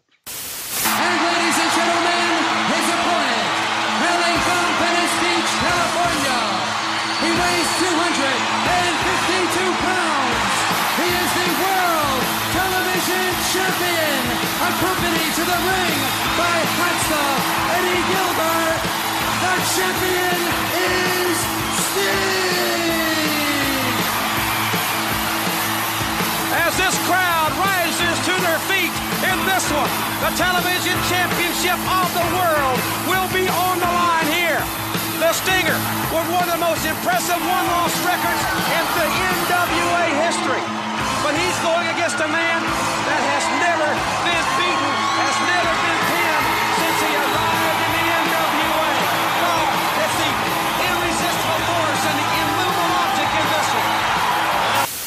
you've got like your, your two of your probably your biggest stars come to the ring for this match, and the, the thing is still covered in the powder from the fucking tuxedo match twenty minutes Yeah, ago. but it's you know that's that's, that's all right. Isn't that isn't that a little bit dangerous? No, not really. There's lots of slippy powder all over the place. Someone busts their knee out. or Not something. going to be slippy. It's be fine. All right, all right, fair I don't enough. think health and safety was a thing back in 1989. Um, you've got two rings. You just got the one that doesn't have the powder in. You know? There you go. That's why that's why Sting I think just leaps to the other ones. 'cause Yeah, he does. Yeah, fuck- yeah. fuck That's the how powder. match boom. They both gone. start. Out, they both start out in separate rings, but Sting just kind of like just flies across and across, like, he like can. handles him or cross bodies him or something like that. acro- You know, across the middle section, with, across This no man- man's land. This match goes also 100 miles an hour as well. This Yeah. really does. Yeah, this is. Um, I've got the times here in front of me. This is eight minutes and forty seconds of pretty damn consistent action. I think the only kind of breaks they seem to take is when one gets knocked to the outside and has a bit of a breather for But literally that- like ten seconds. And I've then That's got down. There's a, there's, there's a point where Muta does a moonsault and lands it. Oh, Like- it's beautiful. like- I've written down like he's from the future. yes. yeah, yeah, He pretty just does it just because. It's just why Um, not? He's so crisp. He, he's like all of his moves. Like Sting's like pretty good as well, but Muta is just like he, he's just another world in this by this point. It's just so crisp in his way. I think Selling is in this match is bloody brilliant as well. Yeah. Oh, he's in the abdominal stretch. Yeah, because you are genuinely thinking that Sting's in trouble with this one Yeah, yeah. because he's he's facing this mysterious, almost like you know de- demon-like Supernatural, presence. You know Oh. of, of this. He's evil. He's evil. And do you know how, why he's evil? He does the most evil of moves. He grabs the rope when he's in the abdominal stretch. Uh, and he, well, apart from the spitting bloody red mist. Well, yeah, that's Well- evil as well. But the rope, grabbing the rope in the abdominal stretch, that's the worst, the most heelish thing in the world, Oh, that yes, is. it's And just this is also before that he also had his pipe that he acquired in, a few, uh, in the past. If you remember a previous podcast, Wrestle Kingdom, oh god, was it Eight. eight we watched? Yeah. Yeah. And uh, Muta went under the ring and basically took a small piece of the ring out. Oh, it was part of the use as a lighting rig, weapon? wasn't it? It was lighting stanchion, that's what it was. Yeah. Ah, yeah. It kind of came out with a bit of like a steel girder. But I mean, considering this is for the, at the time WCW's second title, it's in the middle of the card and it just gets the crowd back up again. Oh, And it gives a sting. They- They absolutely go nuts for him. Yeah. Like Oh, yeah, he it kicks out the moonsault, they just, oh. He's amazingly over. Sting's like fantastically over doing all this. Yeah. Um, so what have we got? Uh, just kind of you know, first we got a Muta's crossbody over the top rope. Yep. Uh, Sting with a fantastic looking standing drop kick. They're fighting in the aisle. Uh, Sting gets a press slam in. Um, but then I say Muta abdominal stretch. Then Muta rakes the eyes. Sting What a with two, bastard. Sting yeah, exactly. Sting with two clotheslines, which the crowd go bonkers for. It's Yeah. crazy, Um, isn't it? But then the ending, comes- there's a green mist shot that uh, Muta is aiming for Sting. Sting Red ducks- mist. hits- Red mist. red mist. Sorry, Wasn't green. it hits the ref. Yep. So the Nick Patrick referee's goes out. down. Um, and then there's a, a bit of a kind of weird finish in that Sting. Uh, A bit of a weird finish. bit of a dusty Jesus. finish. Um, Sting does a belly back suplex, and then it's um, they, they're both or their shoulders are down. So Sting gets announced as the winner, but then it's kind of. It Muta goes with a belt. The crowd's Muta chatting disappears with bullshit. The belt. Uh, Muta looks a bit crazy, and the crowd are chanting bullshit. It won't be the first time tonight that Muta looks crazy, Yeah. but um, And also leads for the rest of the night. Fucking Jim Ross keeps talking about the belt. It's like, come on. Every five minutes he's talking about them going, oh, there's some, they're talking about the belt. Oh, there's some backstage shenanigans going on. Oh, it's like, no, Jim, just move, it's stupid, just move on. Yeah. Yeah. it doesn't matter in the long run. Just just move But- on and leave it alone. this Yeah. match as well was a bit of a cracker. Oh, but it was great. Yeah, well, you- I mean, So you've had- could they have had a bad match at this I- point? They would have of to have tried very hard. Yeah, pretty much. But this is like, um, I mean, the the last two matches in the card, we're sort of the middle of the card now, Yeah. and the, both these matches, the, the you know, uh, the Steiners and the Varsity Club, and this one have been like fast and furious and to the point, and Well- not really for hanging around. You know, the best way to continue that pace is to get Lex Luger in the ring. Exactly, That's what he wants. Uh, before that, though, we've got Go- Gordon Solie is with Lex Luger, who's the US champion at this time. Yep. Uh, Luger does not want the no DQ stipulation in this match. Uh, Team of attorneys, remember? Uh, my thoughts are this, Gordon. We go back a long ways. You know that I say what I mean. I've had a team of attorneys here all day long. And I got a big surprise for all you out there, everyone out in the audience in Baltimore, but most of all, Ricky Steamboat. He has. He's got a team of paternities. And he doesn't want this new. He wants a straightforward. The problem is they're all rubbish because they're all flexing into mirrors. Exactly. Steamboat is uh, during his entrance is um, being held on a um, sort of plinth, isn't it? Well, carried by people. They they mention that he's being led to the ring by his beautiful family, but they never once mention that he's being carried on a massive plank. Yes. Family, slaves. They don't even whatever it might acknowledge it. carrying a What's going on massive dragon. But it's, it's his beautiful family, Phil. It's like It's his I'm being beautiful led to the ring by his beautiful family. But there's a dude on a plank with a dragon. I mean, surely you'd point Yeah. to that as in your commentary. A dragon. oh, there's a woman and a kid. Aren't they nice? A dragon. Fuck which him. Get him out of the way. Get him off the ring. Yeah. There's a man with a dragon. bored as hell. Yes. yeah. So they start off. Uh, the, Oh, don't the- forget, Luger comes out on the turntable. He does, yeah. He does. I did. I was just looking at my notes, kind of wondering why the hell I'd written down Lex Luger's disc thing breaks down, Yeah, his turntable. and I couldn't remember why. Yep. Now we know where Bobby Roode got his from. Yeah. Oh, there you go. There you go. I will. I will actually say we have made fun in the past of Lex Luger's lack of selling. I think at this point he had to actually sell, but didn't need to try and sell because Steamboat was hitting him with some very, very, very hard chops. yeah, pretty much. And yeah, you, you don't need to sell when you're in the ring with probably the greatest seller of all time. no, Just let Ricky do it for you. Yeah, Exactly. pretty much. Your job is to Um, don't kill Ricky and let him sell. Yeah, The confusing thing before this, though, is apparently Gary Cappetta says that it's still DQ. still DQ. Lex Luger's not happy, He's Yeah, happy. but then Steamboat accepts the dropping of the no DQ. So we're back to proper rules. yeah, Yeah, that was worth so our time, wasn't it? Yeah, pretty much. So it's just like Yeah. so it lock, they lock up, and it's, it's effectively it's a match of Steamboat's speed versus Luger's power. Yep. Yeah, because yeah, Um, it starts off being all steamboat, and then Luger basically like just knees his head off. Yeah, pretty much. yeah. Just woof. Two huge drop kicks to kick it off from Steamboat. We're outside the ring for Chop City. Steamboat with an atomic drop, but then a clobbering Luger clothesline, which they're still outside the ring for. Press slam by Luger, and Luger's knees to the back of Steamboat's head. Yeah. Lovely. And then we get the old um, Lex Luger wandering around the ring, hands on his hips, trying not to Lost. get gassed. Yeah, is this is this the one where the referee gets a bit weirdly involved? Because of course, the- Tommy Young, the referee, tries to stop a Steamboat chop by holding onto Steamboat's arm, which allows Luger to get a cheap shot in. Yeah, it doesn't make any sense. You know, it doesn't make any sense as to why the referee would be like, "No, no, no, you're not allowed to hit him." Oh, he's Can't hit do you. that. Never Come mind. on. Uh, Um, Also, they well, did they mention at some point that Luger was the rookie of the year. yeah, Lex Luger was rookie of the year. Let- Wait, let me just say that again. No. Lex Luger was rookie of the year. it was obviously a very slow year. I'm going to just double check and see what year that was. on. Right, Lex Luger. I don't know. Lex Luger, good wrestler. No, Google doesn't bring anything back. Just to bring anything back. eighty nine probably. Well, he was Pro Wrestling Illustrated's most popular wrestler of 1993. I guess 'cause Jesus. he's- that was the Lex Express time, though, wasn't it? I suppose. So. Oh, that's true. Hang on. Got his wiki- Oh my god. Lex Luger, lo- rookie of the year. I've got Lex Luger's Wikipedia up. The picture of his Wikipedia is absolutely amazing It's not a great picture, is it? Oh, I'm gonna have. A, let's see. What is it? with his Man U cap. Oh yeah, Luger in two thousand and seven. Yep. I don't know. Right, I've got it. I've got it. Lex Luger was Rookie of the Year in Pro Wrestling Illustrated in 1986.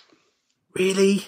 Yes. He was also in Feud of the Year for three years running.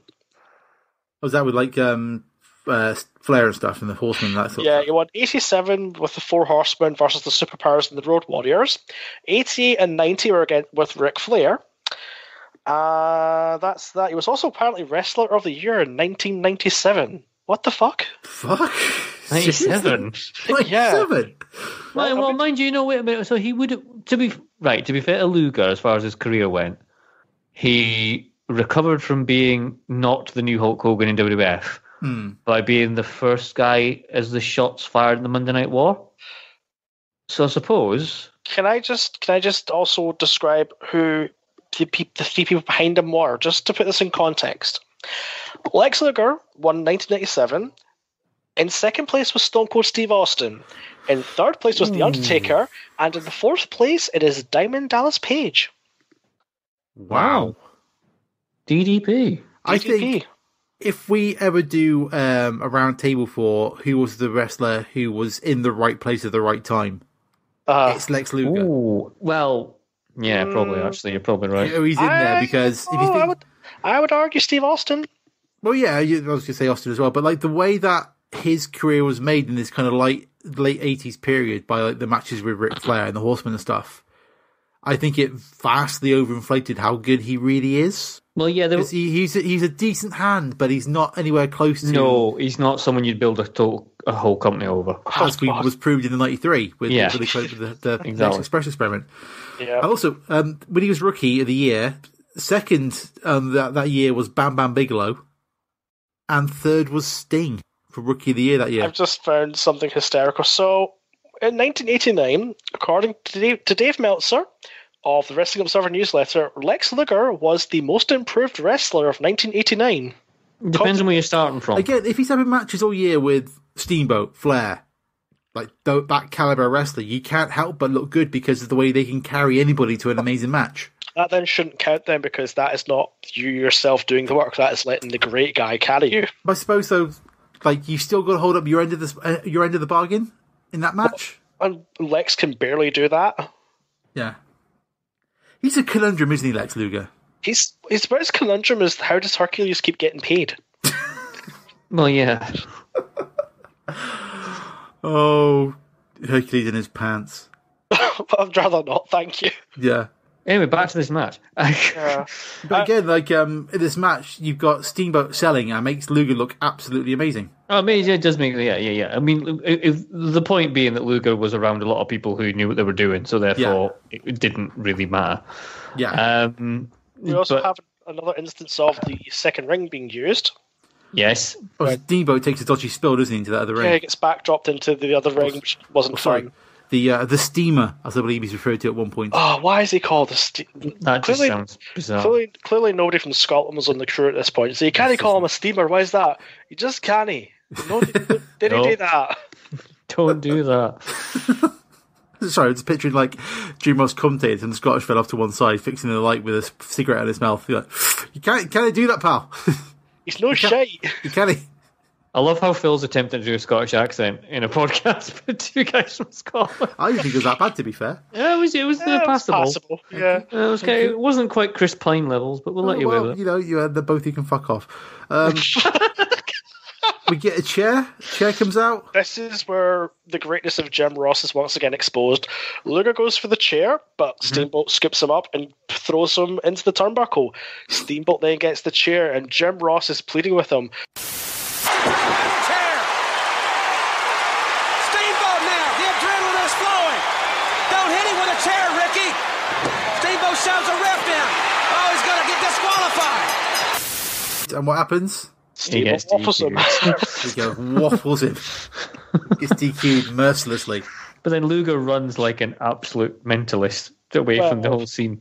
Take Yeah. it the like, uh, like an absolute, like a mentalist. Yeah, pretty much. This match was great. This was It fun. was decent because once again, it looked like a proper fight. Steamboat's always. Steamboat's I don't think. cracking, I don't think I've ever seen Steamboat in a bad match. I think it's it's again, it's one of these ones that's going to be an anomaly if you see it. Maybe like his later stuff when he's really old. But Well, even then, like really his old. matches with Jericho and stuff, he's still he's still got it, but he's, his body's just not there anymore, isn't it? Oh, But yeah, but enough. that Three Legends thing. What was it? WrestleMania twenty four Him, Oh, Piper, and and ah, and Snuka. Snuka. Yeah. Of the of the three of those guys that have faced um, Jericho on that night, do you, do you not remember looking at Steamboat wrestling Jericho, kind of going, "Blimey, Steamboat can still have it." Yeah. Oh yeah. He was on Jericho's podcast. They talked about how like they had about uh, like off that they had a series of matches for like the next few months. Did they? Yeah, It was like a mini feud, yeah. Incredible. like a little few going. cool, and, because they um, realised that Steamboat was the one that could actually still wrestle at this. Yeah, and they had good chemistry. So we'll have a few more matches. I think there was. Um, yeah, there's, there's a good little bit. They talk about how they kind of changed the finish. to- Steamboat changed the finish to a match in the ring on them and stuff. It's, so yeah, like he, he could still he had the he could still go, but it's just like you know the body was just not there enough to kind of carry on going Yeah. as much as he wanted to. Yeah, so But you know, I remember watching that WrestleMania, thinking, you know, because you've had like Snuka, who was basically shuffling to the ring, Yeah. and Piper, God love him, was you know, was that another His time that were- Piper was like discovered he had the lymph, uh, the cancer? Um, it was either shortly before or during that time, I think. Was it? Yeah, because I seem to remember the only reason they discovered he had cancer is because he had to do a medical, Yeah. For the match, yeah. and then because he was wrestling, and as part of the whole shindig, they have to do the full medical to let them in the ring, Yeah. and that's when they discovered he had elevated white blood cells. And then they ran further tests and found his cancer. So he, he often credits the fact that he was trying to get back in the ring as saving his life, kind of thing at the time. Yeah. So yeah. Anyway, So um, no, I like this match as well. The middle of this Yeah. pay per view is magnifique so Yeah, far. I mean, th- it feels more like whereas the last two feel more like wrestling matches. This feels like a storyline match, yeah, yeah, but it's a good storyline match. And it's, that's a good know, one. yeah, yeah. It's, it, It's good. It does what it needs to do re- really well. So, um, Uh, so next we have Jim Ross in the crowd. Why is he in the crowd? Because they're setting up the war games. yeah, I was going to say I'll just put there now some fluff so they can put the cages on. Yeah, So blah blah blah blah blah blah blah blah blah blah blah war games blah blah blah teams blah blah blah promos. yeah. Uh, Freebirds and the Samoan SWAT team is just shouting. yeah. Well, the Freebirds just kind of shout, and the Samoans just growl. Well, yeah, but I don't believe they utter any words whatsoever. Uh, Terry Gordy is going to drop the bomb on Baltimore. Doesn't sound like a good thing to say, does it? Things you can say pre 9 11. Um, yeah, and then it's like, and then I'll put down here why do the face team do separate promos? I don't, Don't know. The heel team are all like all in the same room. Uh, the face team are like, nah. We may be a team pal, but I want my own space. Yep, pretty much. Um, we get Pyro, sort of. Yeah.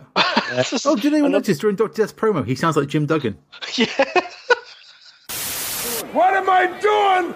I'm going bird catching. I'm flying around and I'm looking for the birds because I'm a bird crusher.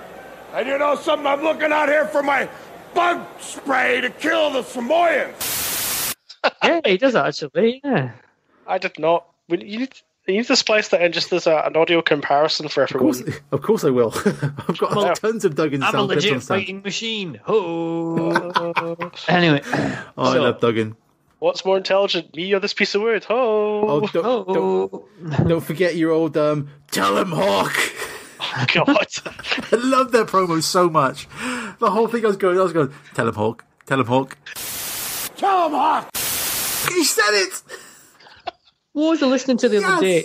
What was I was listening to Lance Storm the other day, and he was going on about promos um, and how you know people often say like you know oh you know this promo was terrible and you know the example he gave was the Ultimate Warrior and he says like people would say the Ultimate Warrior couldn't do a promo, but he says even on the um, Self Destruction Ultimate Warrior DVD box set, you had Christian who was able from memory to recite the entirety of the WrestleMania six. You know, put the plane into a nosedive. Oh, okay. God. And it's like, Yeah. and Lance Storm's whole point is saying, if that promo was so awful, then why can a man who was a kid at the time remember that entire promo word No, he's for right. word He's right. 14 years later? This is true. I mean, that So- promo is definitely out there, and as was the Ultimate War probably was when he did it. But it was so different to what you've been presented elsewhere. It was going to stick in your mind hmm. regardless of what it was. Yeah. Because he was so embedded into his character that it Yeah. just kind of it almost it, it made sense in his the world of the character. That makes It made, sense. it made sense to, in this context. There's a man in front Yeah. of a terrible green screen shouting at you with little to no sense. Which is why, but you know, it's now time for Hawk to speak. Tell him, Hawk. I love it. Yep, pretty much. Tell him, Um, Hawk. And then so- like animal just like Whoa! when he turns his head. It's brilliant. So after what feels like 45 minutes, we get to our War Games match. we do, which is the Road Warriors, Animal and Hawk. Tell him, Hawk. Um, Who are going for family members? Remember? While I wasn't even out a week, when we get done with you, we're going for family members, boys.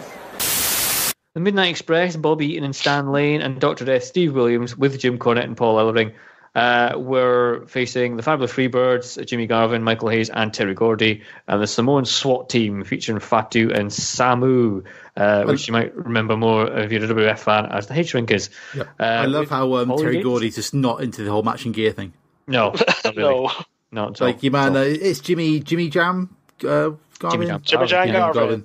and um, Michael Hayes are like completely in sync. Just their, their, their, their own game. But Gordy's like, no, I'm just going waistcoat and some normal stuff. So is I'm good. Maybe some funky glasses, but that's as far as I'll go. the first note I wrote in this for this match was there's going to be some blood here. Yes. You reckon? Do you think? It's W. It's WCW. It's the early late eighties, early nineties. It's a Yeah. war games match. Blood's a prerequisite, I would say. Pretty Well, much. there's loads of dodgy stuff coming on. There's like um, uh, the Road Warriors come out on their bikes. You, you can't hear the rules explanation because it's so loud. Yep. The ring looks rickety as fuck. The ring at points before this match was looking rickety. Now attaching metal to it is just making it Dodgy. probably more structurally sound. And- is, it, and- is it not the same idea as the 92 War Games match when we did that? It was like, you know, the fact that the actual thing looks rickety as hell kind of adds to the danger aspect. of it. Because oh, you could collapse them at any point. Yeah, because if the, if, the, if the match doesn't kill them, the ring probably will. yeah, And exactly. Just to put some more danger into the mix, a bloody cameraman goes into the ring. oh God! I would, Yeah. I would- I would- So what are you not- doing, man? You're not getting paid enough, surely. So the, the Samoans kind of attack each other on the way down as well. Yeah, don't they? it's going nuts. Um, so Jimmy Garvin begins, uh, Bob Eaton begins, and Oh, who just, won the like- toss, by the way? Let's just on, figure that I was out. say, we need to clarify that. Who won the toss? I understand the coin toss was held before we went on the air. the Freebird Samoan group has won the toss. That means that when the first five minute period is up and another man is uh, allowed to enter the ring, Bob, it will be a member of the Samoan uh, Freebird contingent, making it two on one. So they will have the advantage until all 10 have entered the ring and the war games begin. Was it the heel or the face team? It was the heel team because No W- way! because WCW were not retarded yet. Can't believe, can't believe they won the, the toss. That's ridiculous. Just weird. Oh, I have The- another quick question I wanted to raise at this point. Go on. Why was Express such a popular na- name for teams in the 80s? Um, because Midnight Midnight Express, Express, the Rock and Roll Express. the Orient Express, people the like US things- I cannot believe you put the Orient Express in the same category. As the I'm not saying like I'm not saying Roll equality. I'm not saying equality of teams. I'm saying why was Express used in so many team names? for three teams. It's not that many. Four teams, wasn't it? Was there a US Express, Lex Express? Yeah, that wasn't a tag team. That was just a bus. But there's a lot of teams with Express in the title. That's what I'm saying. Yeah, but no, What is happening? I don't know. Um, It's just weird. I don't understand why. Yeah. uh, yeah, there's there's some bloody good spots in this. There's a lot to write. I mean, essentially, this is the Doctor Death clinic. I think. Well, pretty much, yeah. I've got it here. Doctor Death comes in, straight double arm clothesline. Yeah, Uh, just- Doctor Death press strams Gordy up against the roof. yeah. That was Um, pleasant. Yeah, and then after that, Samu comes in. Usual War Games brawling. Samu and Gordy double suplex to Doctor Death. Animal comes in. He goes mental on everyone. Oh, the Animal crowd. shoulder charges over both rings. Well, the minute Animal gets in the ring, I think the, I thought the match, the, the whole thing was going to break because the crowd go absolutely nuclear. Nuts. Bloody nuts. Business will pick up for a couple of minutes, Bob. Yes, sir. It's going to really get physical now.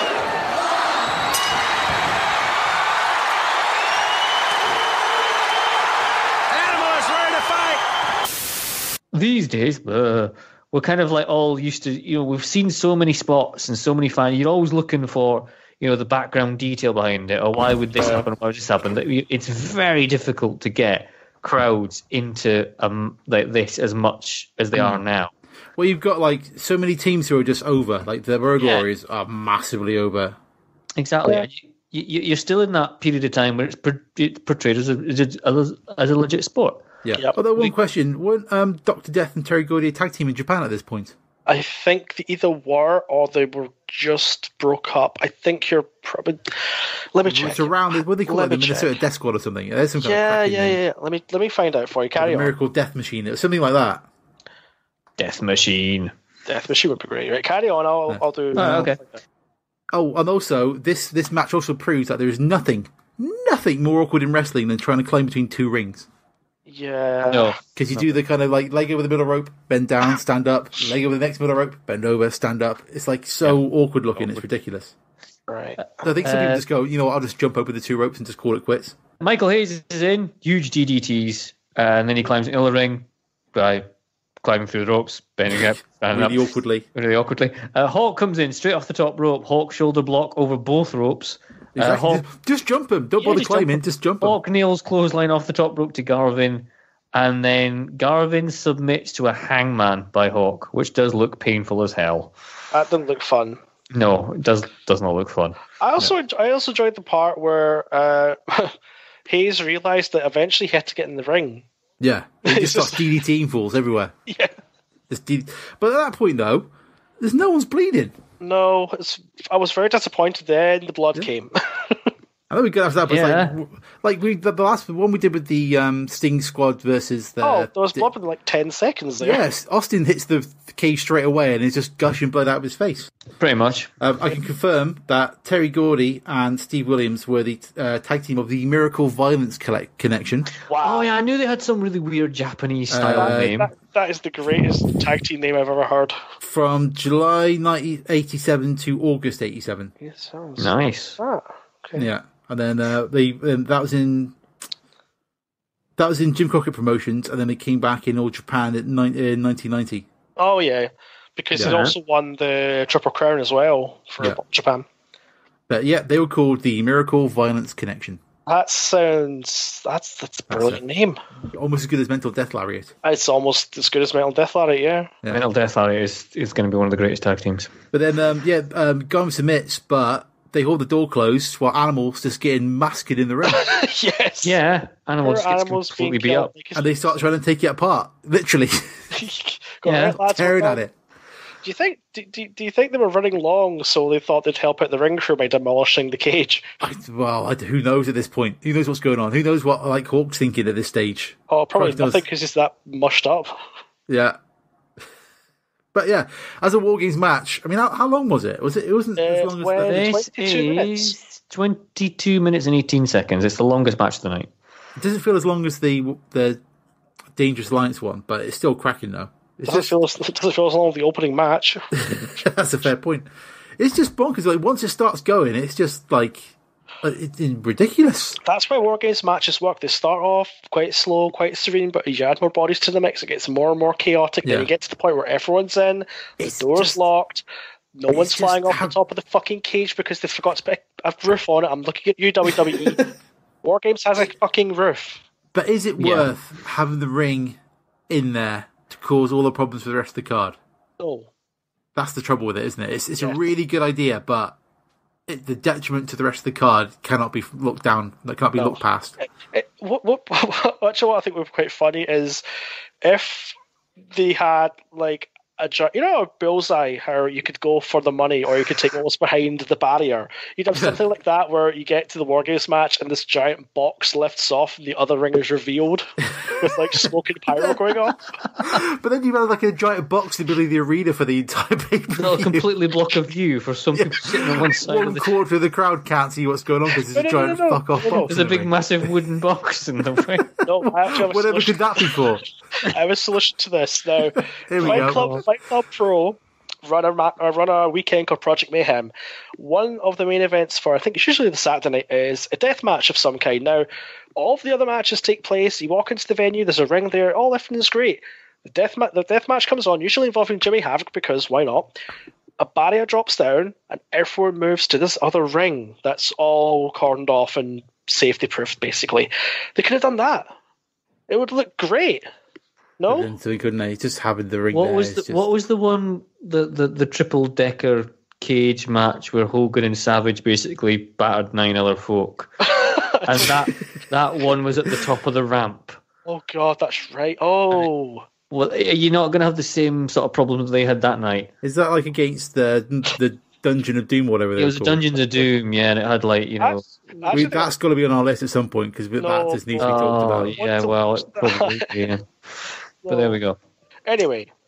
Main event time. Main Yeah. event time. Main event time. Right. Main event. Hang on. Here we go. Jesus. All right, Al. My IPA. Yeah. Um. All right, you hipster. That's enough out of you. Uh. Gordo is backstage with the one and only Ric Flair, Yes. but it's a quiet Ric Flair promo. yeah, I know you're not really. It's it's the No. it just weird. This makes sense because Ric Flair is about to go in the ring and defend the NWA World Heavyweight Championship against a legitimate psycho. He's a psychopath, isn't he? Because uh, when your man Terry Funk comes out after we've got half an hour of Jim and Bob, uh, well, they, they take, take the ring apart. Bobo, but take, the- take rid of the cage. Like, how much security has the Funker got? Oh, it's amazing. It's, There's it's about 20 guys come out with him with his fucking cattle prod and whatnot. because he's a dangerous man. Very dangerous man. He will fuck you up. Old and crazy. Never change Terry Funk. Never It's changed like- Terry Funk. Funk comes out with security. Ric Flair comes out with the ladies. Yeah, I was like, you know, huge pop for Flair as four women come from out of nowhere. Yeah, exactly. I doubt they were there. I, don't- I think they just, they just appeared. You know They what I just mean? They, were, appeared. they weren't appeared even from- supposed to be there. Do you think Ric Flair's got the ability to just summon women from the ground? Yeah, like Pokemon. You know, just like, oh. It's like, I choose you. Hole over there, I choose you. Hole over there, I choose you too. Hole over Yeah. there, actually, oh, you come here. Bang straight out, and and they just they they go, and it's it, it this is how long is this? Like quarter of an hour of chaos, pure Um, unadulterated this chaos is this match is 17 minutes 23 seconds. Uh, of I- just pure chaos. Pure blood, violence, sweat. it is tears. brilliant. It's amazing.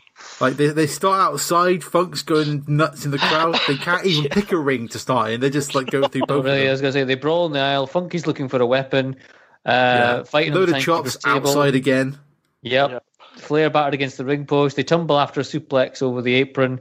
Uh, Flair uh, rakes the eyes. Punk, Funk pokes the eyes. Oh, that's a that's a Freudian slip right yeah, there. uh, Funky Punk, Punk. Funk. And then Flair backdrop over the ropes. It's just it's just nuts. Flair twists Funk's neck, then running Yeah. knee to the back of Funk's head. Then a couple of pile drivers. A couple of pile drivers, and again, yes. And uh, Funk tries to uh, vanish off down the aisle. Uh, Funk uses the branding iron behind the ref's back. Yeah. So Yeah, Flair's you can. bleeding. Yeah, see, Flair gets busted open from the cattle prod. Yep. Uh, Question mark. Funk pile driver for two. Uh, Flair's foot's on the ropes, though. Yeah, no, no no. victory there. Sorry, No. Funker. by, Uh, this, Funk, by this by this point, the blood bank, if I recall, because well, there's about three pints of blood in the ring. yes. Yeah, all is there. We, we've got the mats are being ripped up from the floor next. Yep. Um, uh, the ref actually pulls Terry Funk's hair to get off it, get him Flair at one point during all Grabs this. it really bad, isn't he? Um, yeah. So and there's a Funk neck breaker twice, three times. Yeah, which Uh, completely silences the crowd because the whole much, thing yeah. isn't he talking about like how Ric Flair's got like a dodgy neck or something? Yeah, I think it was Yeah, kind That's of why he kind of keeps going for the neck and keeps trying to break it. Yep. Pretty Yep. much. Uh, psychology. Psychology. uh, Flair goes for the figure four. Funk rolls him up, but then Flair reverses that for the three count. yeah, it's, And it's bang there. out of nowhere. Yep, done. Once again, another result that seems to just not really build to anything, but it looks like it's a legit. But legit. it kind of fits in with it because the match is so like staccato and so just stuff happening that it, it makes sense in the context of the match of that kind of thing. Would how it would be how it would finish. The way I interpreted it as Ric Flair just wanted to get the heck out of the ring, so he saw his opening, he took it, he got out. Yeah, but but is he going to get out of the ring though, Euan? Is he? Oh, we might get into the other ring. Or, or- yeah, he's just going to go into the other ring by mistake. No, the Mu- Muta comes out. We've got some green mist. Yay! Yay! More Muta being mental.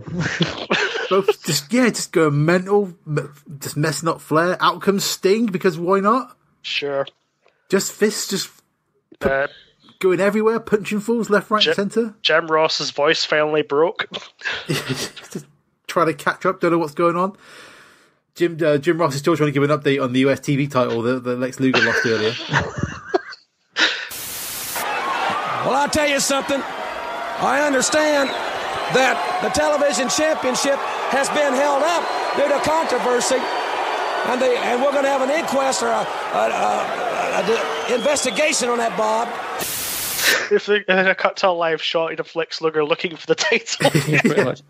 This this pay per view, this entire show that does after this match end in possibly one of the most chaotic set of circumstances. It's just you got It's almost bordering on comical how They're just like a like big go out the ring. clusterfuck. Funk will just walk up, start fighting, they walk off again. They'll come Yeah. back.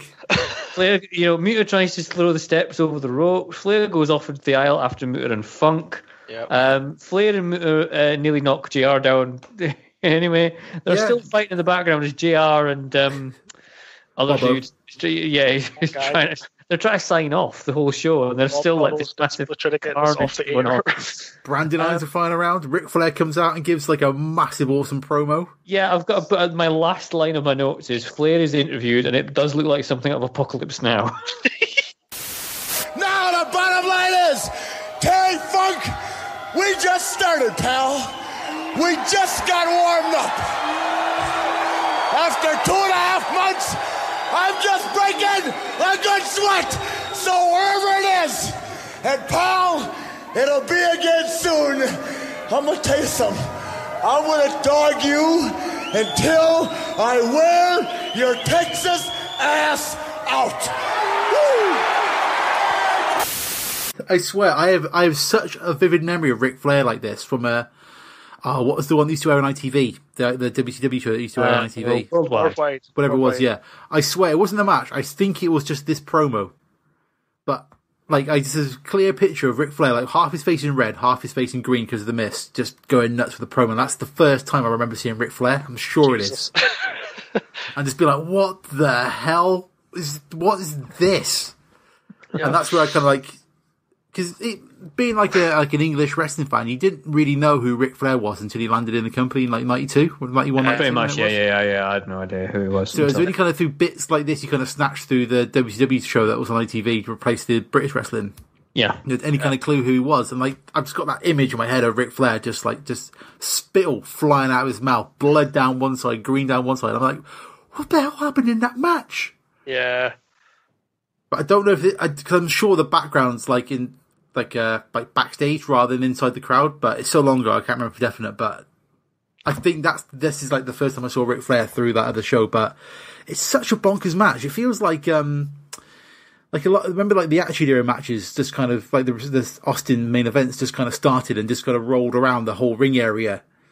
Like I'm kind of thinking that one here with Dude Love. Um, Oh, what's Judgment Day one. yeah, he's like corporate dude love with his like t-shirts. Yeah, Judgment kind of- Day '98. Yeah, well, they, they just kind of like they just kind of start, but they can't be contained by the ring. They just go everywhere. Oh yeah, it's, it's just it's just nuts. It's just This is what this feels like. It's just like they they don't even start in the ring. They go over there. They're over there.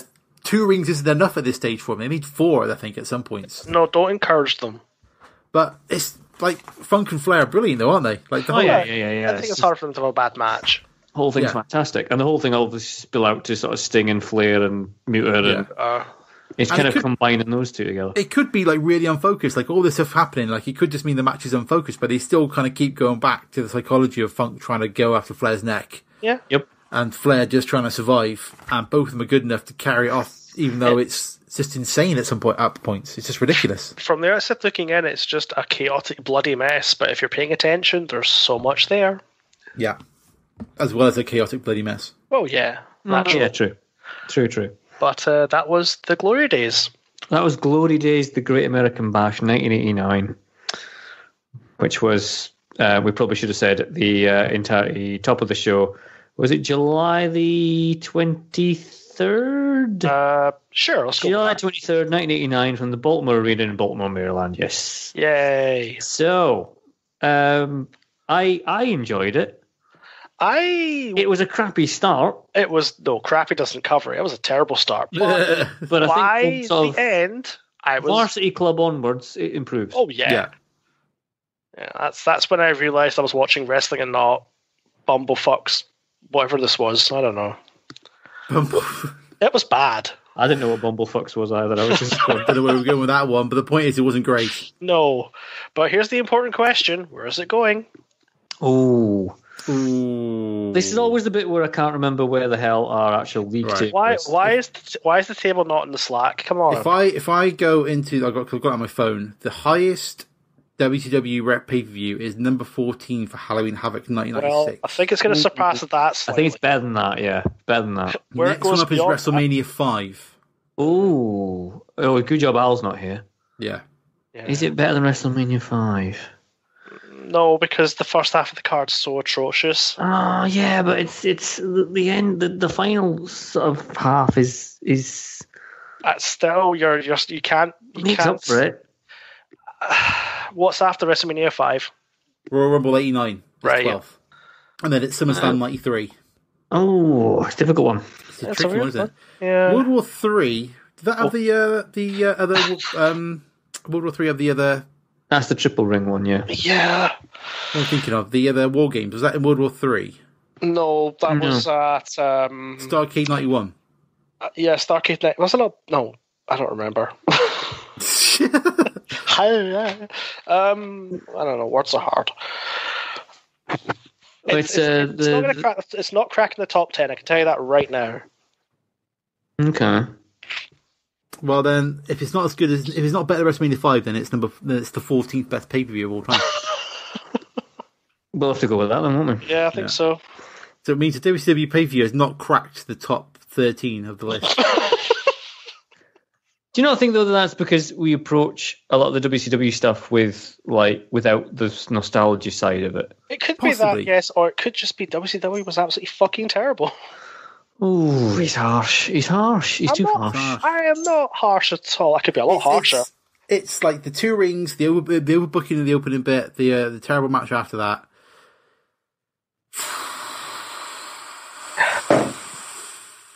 I don't think it is better than WrestleMania five, No, but it's better than Halloween Havoc ninety six. It's better than how. Yeah, I've got more. it's, it's admittedly a low bar, but it Yeah. does succeed. I feel really bad because we haven't like WCW pay per views do not get a good get. Not, I think I don't know if we do good bad ones or what, but they don't seem to go up very high on our list. Well, as I was saying, I picked this mainly because it was allegedly one of the uh, the best WCW examples. I can see why, it's, yes, it's far Yeah. from being a bad pay per but if if the entire if if the quality of the first like the second half was on the first half, then it would be, it would be amazing. Yeah, You know, but it's sadly a bit lacking in that department. Exactly. And it also it also houses a Jim Cornette versus James, yeah, a Jim Cornette versus Bolly That's got to drag it down several places, really, hasn't it? Yeah. yep. But there we go. So there you go.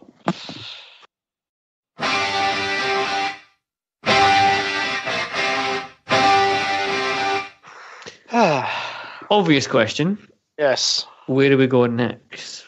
Well, I think that's at my hands. I believe it's in your hands. I think it is Euan. Yes. And I am going to throw out one of the patented Euan Taylor wildcards here. Oh boy! What did this gain as last time? Uh, this game does WrestleMania 8 in Tokyo Dome. WrestleMania 8 in Tokyo Dome. Oh, Jesus, no, that was. That was That'd be amazing. Oh, WrestleMania in Tokyo Dome would be amazing. In Tokyo Dome.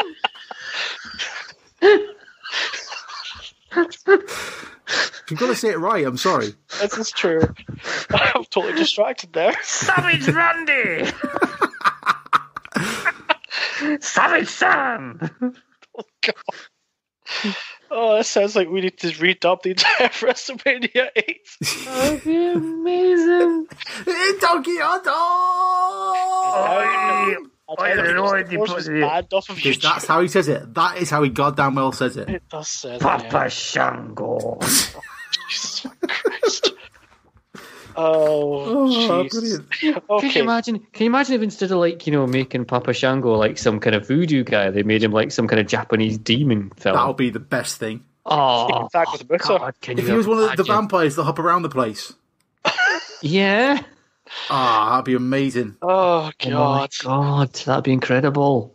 So, Anyway, sorry. In Tokyo Dome. Oh, after that slip, Jesus. I'm sorry, you had nothing you can say now for the next pay is going to be as good as WrestleMania 8 in Tokyo Dome. I don't know how I managed to do that. if only we could do that as a T-shirt without Oh, being It's just- sued it's just- mercilessly from two sides. it's just in, a, in, an alternative in an alternative reality that happened. That happened. Did, yeah. You know, it'd just be amazing. We should do that in Fire Pro. We should make Oh WrestleMania God. 8 Tokyo Dome. In Tokyo Dome. Tokyo Dome. Could you imagine the entrance Vince would have for himself coming down the ring with that swagger? Christ, Uh, I don't think Vince had an entrance in WrestleMania 8 though, did he? Oh, he would have for this one. yeah, he would for this well, one, yeah, he but would have for this one. Yeah, can you? Jesus ima- oh man, can you imagine? Okay, so So, where we're going now? Now, where as we know, now? as we know, the Taylor wild card could be anything and everything. All right. Generally, it's not from the past because sometimes Euan Taylor card goes all directions. it goes any direction it wants to go to, baby. So, this show was obviously built around the main event of the NWA World Heavyweight Championship. Now, there was a time, there was a period of time where this belt meant absolutely nothing, and mm-hmm. essentially the belt would be won by whichever territory basically ponied up the most money. It was basically a title that was bought by the promotion and then wielded around in front of two people at a barn somewhere in Texas. But in recent times, through a lot of effort, the NWA belt has become somewhat well known again and somewhat well respected again. So I thought we would take us to last year. Okay. Ooh. I thought we would take us to the Sears Center in Chicago. Ooh. September the first. Ladies and gentlemen, we are going all in. Hey, Super Kick Party! We are going to the genesis of. Oh, Jesus. We are going to the Sorry. genesis of what's. Every pay per view is now in Tokyo Dome! Everything. What was tonight's? It was the Great American Bash in Tokyo Dome! Ah, I'm glad I've started something. but yes, we're going to the. That'll be the t shirt, just in Tokyo Dome! Great. Jesus, that goes my hero. He's, he's a wonderful man. oh, He's, he's probably paid in abuse and spit. Anyway, um, so we are going to basically to the genesis of All Elite Wrestling, and Yeah. the NW World Heavyweight Title was defended on this very show. So there Hmm. is a, there is a link. cool. So yeah, I just thought we'd do something a little bit different and maybe watch something that isn't utterly terrible for the first half. Basically, Alright. you want to see a load of cocks walking out onto a stage. I Yes. don't need to watch Spoilers. that. I could just go outside. Um, shall I tell you like two points about this? Mm-hmm. Sure. First one, uh, I'm going to have to get my New Japan subscription uh, working No, in order to watch this. no, you won't. Why? Daddy Ian will take care of you with that. All right, okay, oh, fair enough. that, that doesn't because sound like I a was good I was on the verge fair. of cancelling my New Japan subscription because I tried to watch Wrestle Kingdom, and for some reason, my Chromecast, the, the app on my mobile phone for New Japan, wasn't having any of it and wasn't allowing me to sign in. All right. And then when I tried to run it off my laptop, it kept freezing every three seconds. Right. What I'll say to you, Cameron, is check the Slack because there there are there are um, Ways and sources. means. There are sources there. Sources There, are there, there are ways and means, son. ways and means. Also, we the pre-match over budget battle royal, which is a fantastic name for a battle royal that takes place in one ring, Yes. is uh, is the, As it should be. as it should be. Is the sanctity of wrestling should be in a square ring, and one ring only, not this fucking hexagonal, octagonal, upside down Double ring wrong bollocks. double ring bullshit festival. And basically, this entire show was a celebration of what independent wrestling was, and obviously was the genesis of what we now know as All Elite Wrestling. True, true. True, true. So I, Sounds interesting. I thought we'd watch this for a wee change. Can I Yeah. read a prepared statement from Mr. Milburn? Is it the words? We didn't even say he wasn't here, did we? well, No, we didn't even say he wasn't here. to be fair, no one was here. eating during the show, so I think people would have worked it out. because he, he he basically said that he would he, uh, he asked us to tell him when we were going to record. So I said we're recording Friday night. Uh-huh. He said, "Oh, I might join you." I was like, "Have you watched the show? No. Have you watched the Great No. American Bash? No. No. Then what possibly can you bring to this?" Sarcasm. So then I'm kind of, I, I did kind of mention to uh, to Al Euan that you might be picking All In, and after I'd explained what All In was to him, Uh-huh.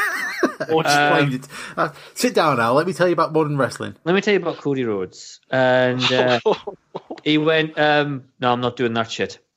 oh, So he's basically decided that we're, w- w- it's against the entire. The what was it he said? It's against the entire spirit of what Conquistabores should be. can you can you send can you send a prepared statement to Al on my behalf, please, Go Cameron? on, go on. Uh, it's, it's just going to be three words: "Suck my dick." In Okay, Tokyo Dome! add that, add that to the end, Cam, yeah? Add that to the end. How many? How many O's? In the middle of the want to opticians, really loudly. How many O's do you Euan want to said. go? At least seventeen. Yeah. Okay, fair enough.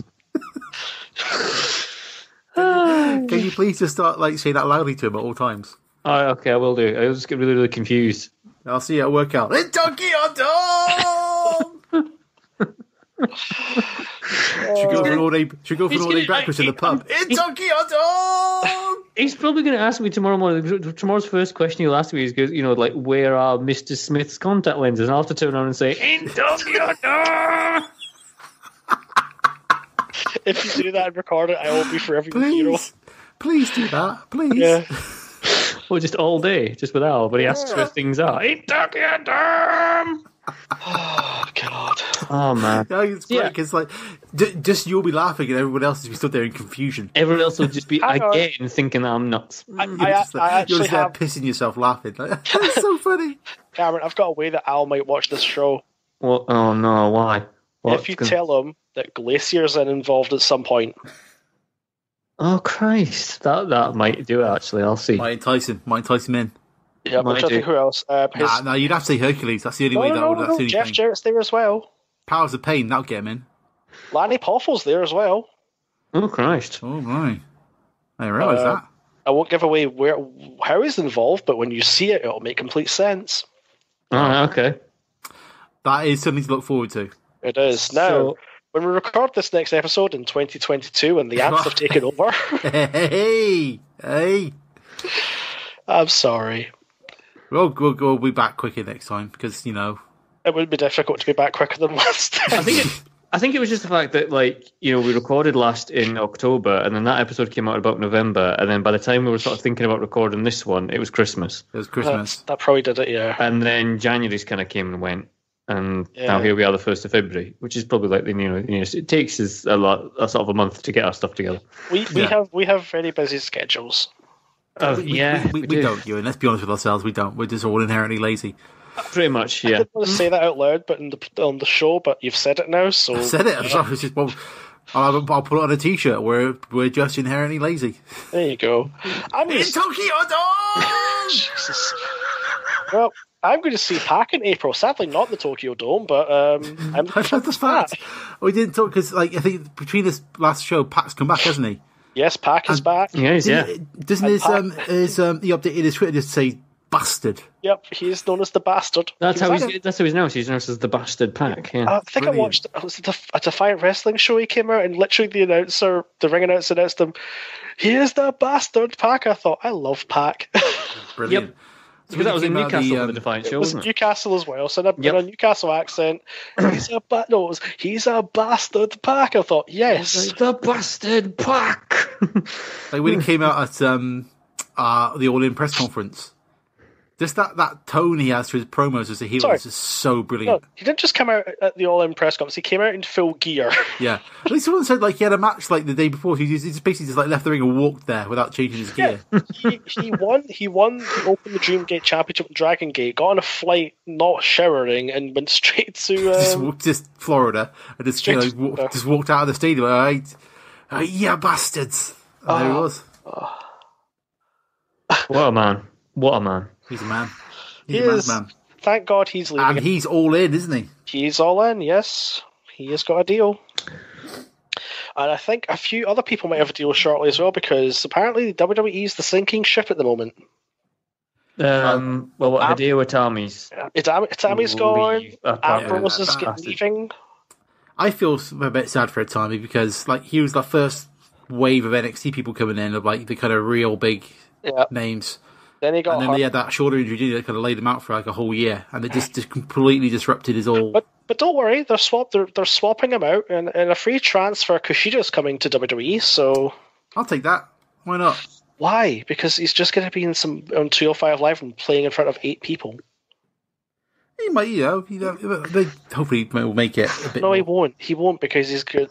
He They do doesn't- have a habit of completely wrecking anyone who comes. Well, yeah. exactly.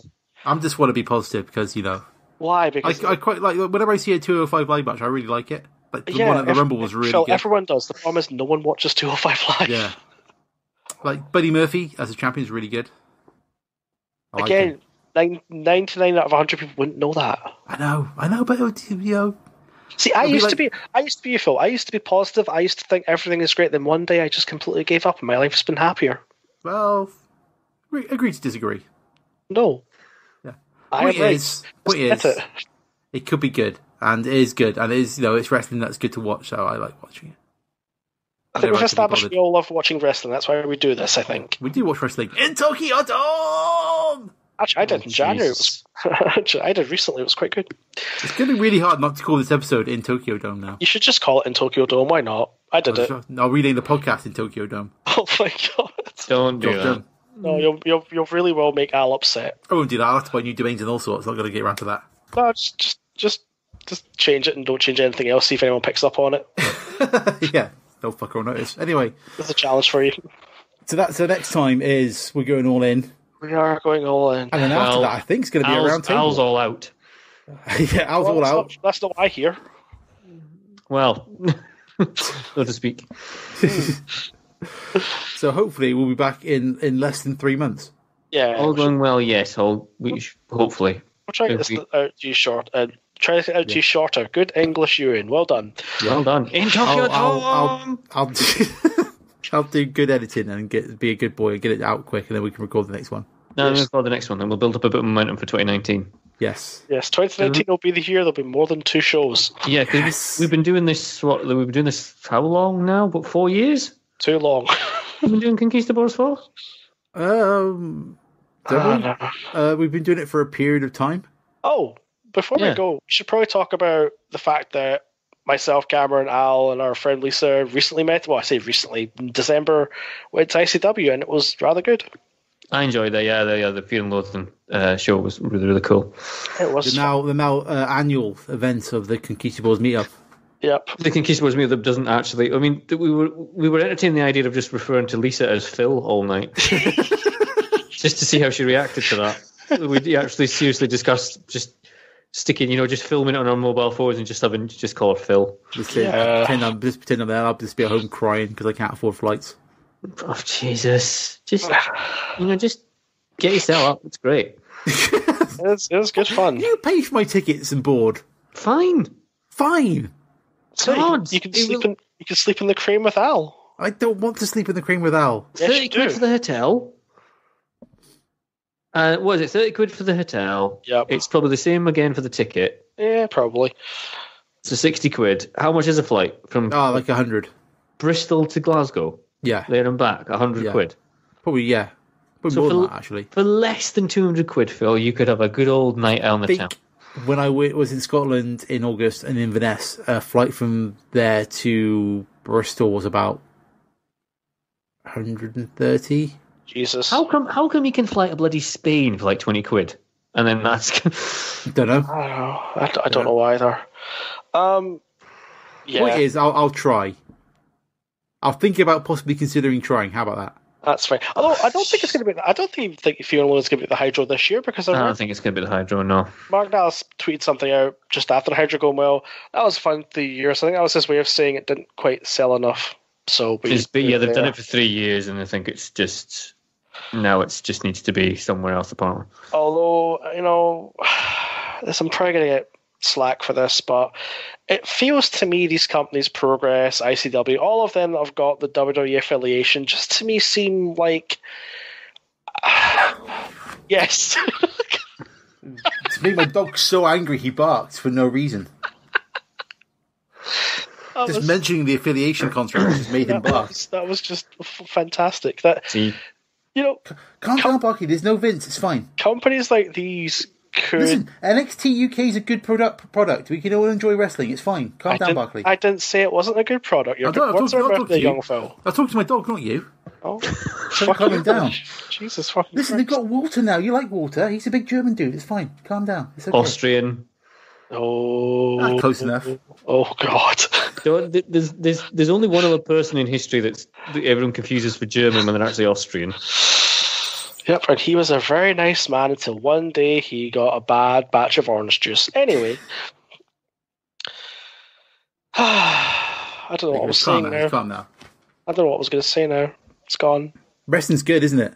Wrestling Wrestling's really is good. wrestling is good. Um, Shall we finish? I think we've I think we finished. Yeah. I'll finish ages ago. Oh no! One Wait. more thing. One more thing. Uh, Jake Hager, former Jack Swagger, is doing his full gimmick in Bellator, and it's wonderful. Yeah, apparently got permission for it, didn't he, or something? Yeah, he, he got Really? he got the blessing. He's coming out. He's doing the We the People thing. It's great. But actually legit fighting. Yeah, yeah. Issue one as well, Wow. Nice. and then did a promo Better that than CM confused Punk then. them. That wouldn't be difficult. Well, you're not fucking over your friends. You're fucking terrible in the. Oh, don't. The whole Colt, oh, it just breaks my heart. It does. Although, you know, I do, I do feel, I really do feel bad for Colt because he didn't do anything wrong. He's just a nice man doing his thing. Yeah, just got caught in the middle of all that stuff. And his, Who, and his podcast. swing it, it back a minute, probably without him, there'd be no All In. Uh, probably not because he was really the, the genesis of it all. He was the genesis of Pro Wrestling Tees. Pro Wrestling Tees kind of built the Young Bucks where they were. Yep. And, you know, there you go. It's all, the fact from kept- cult. All Kept back cult. up. Yeah, pretty much. If there was no Colt Cabana, there would be no no independent scene as it is today. Yeah, he's like. um I was going to compare him to somebody else in another industry, but I can't think of anybody right now. So he's a guy on another industry who helped it lots. That's who Colt is. Um, that was a terrible metaphor. I don't know where we're going with that. Well, it's very late and I'm tired. That's not an excuse. Well, it's the one you're going to get. Oh. Bye. Bye. Good podcast, boys. Yeah it was a good one, yeah. I enjoyed that.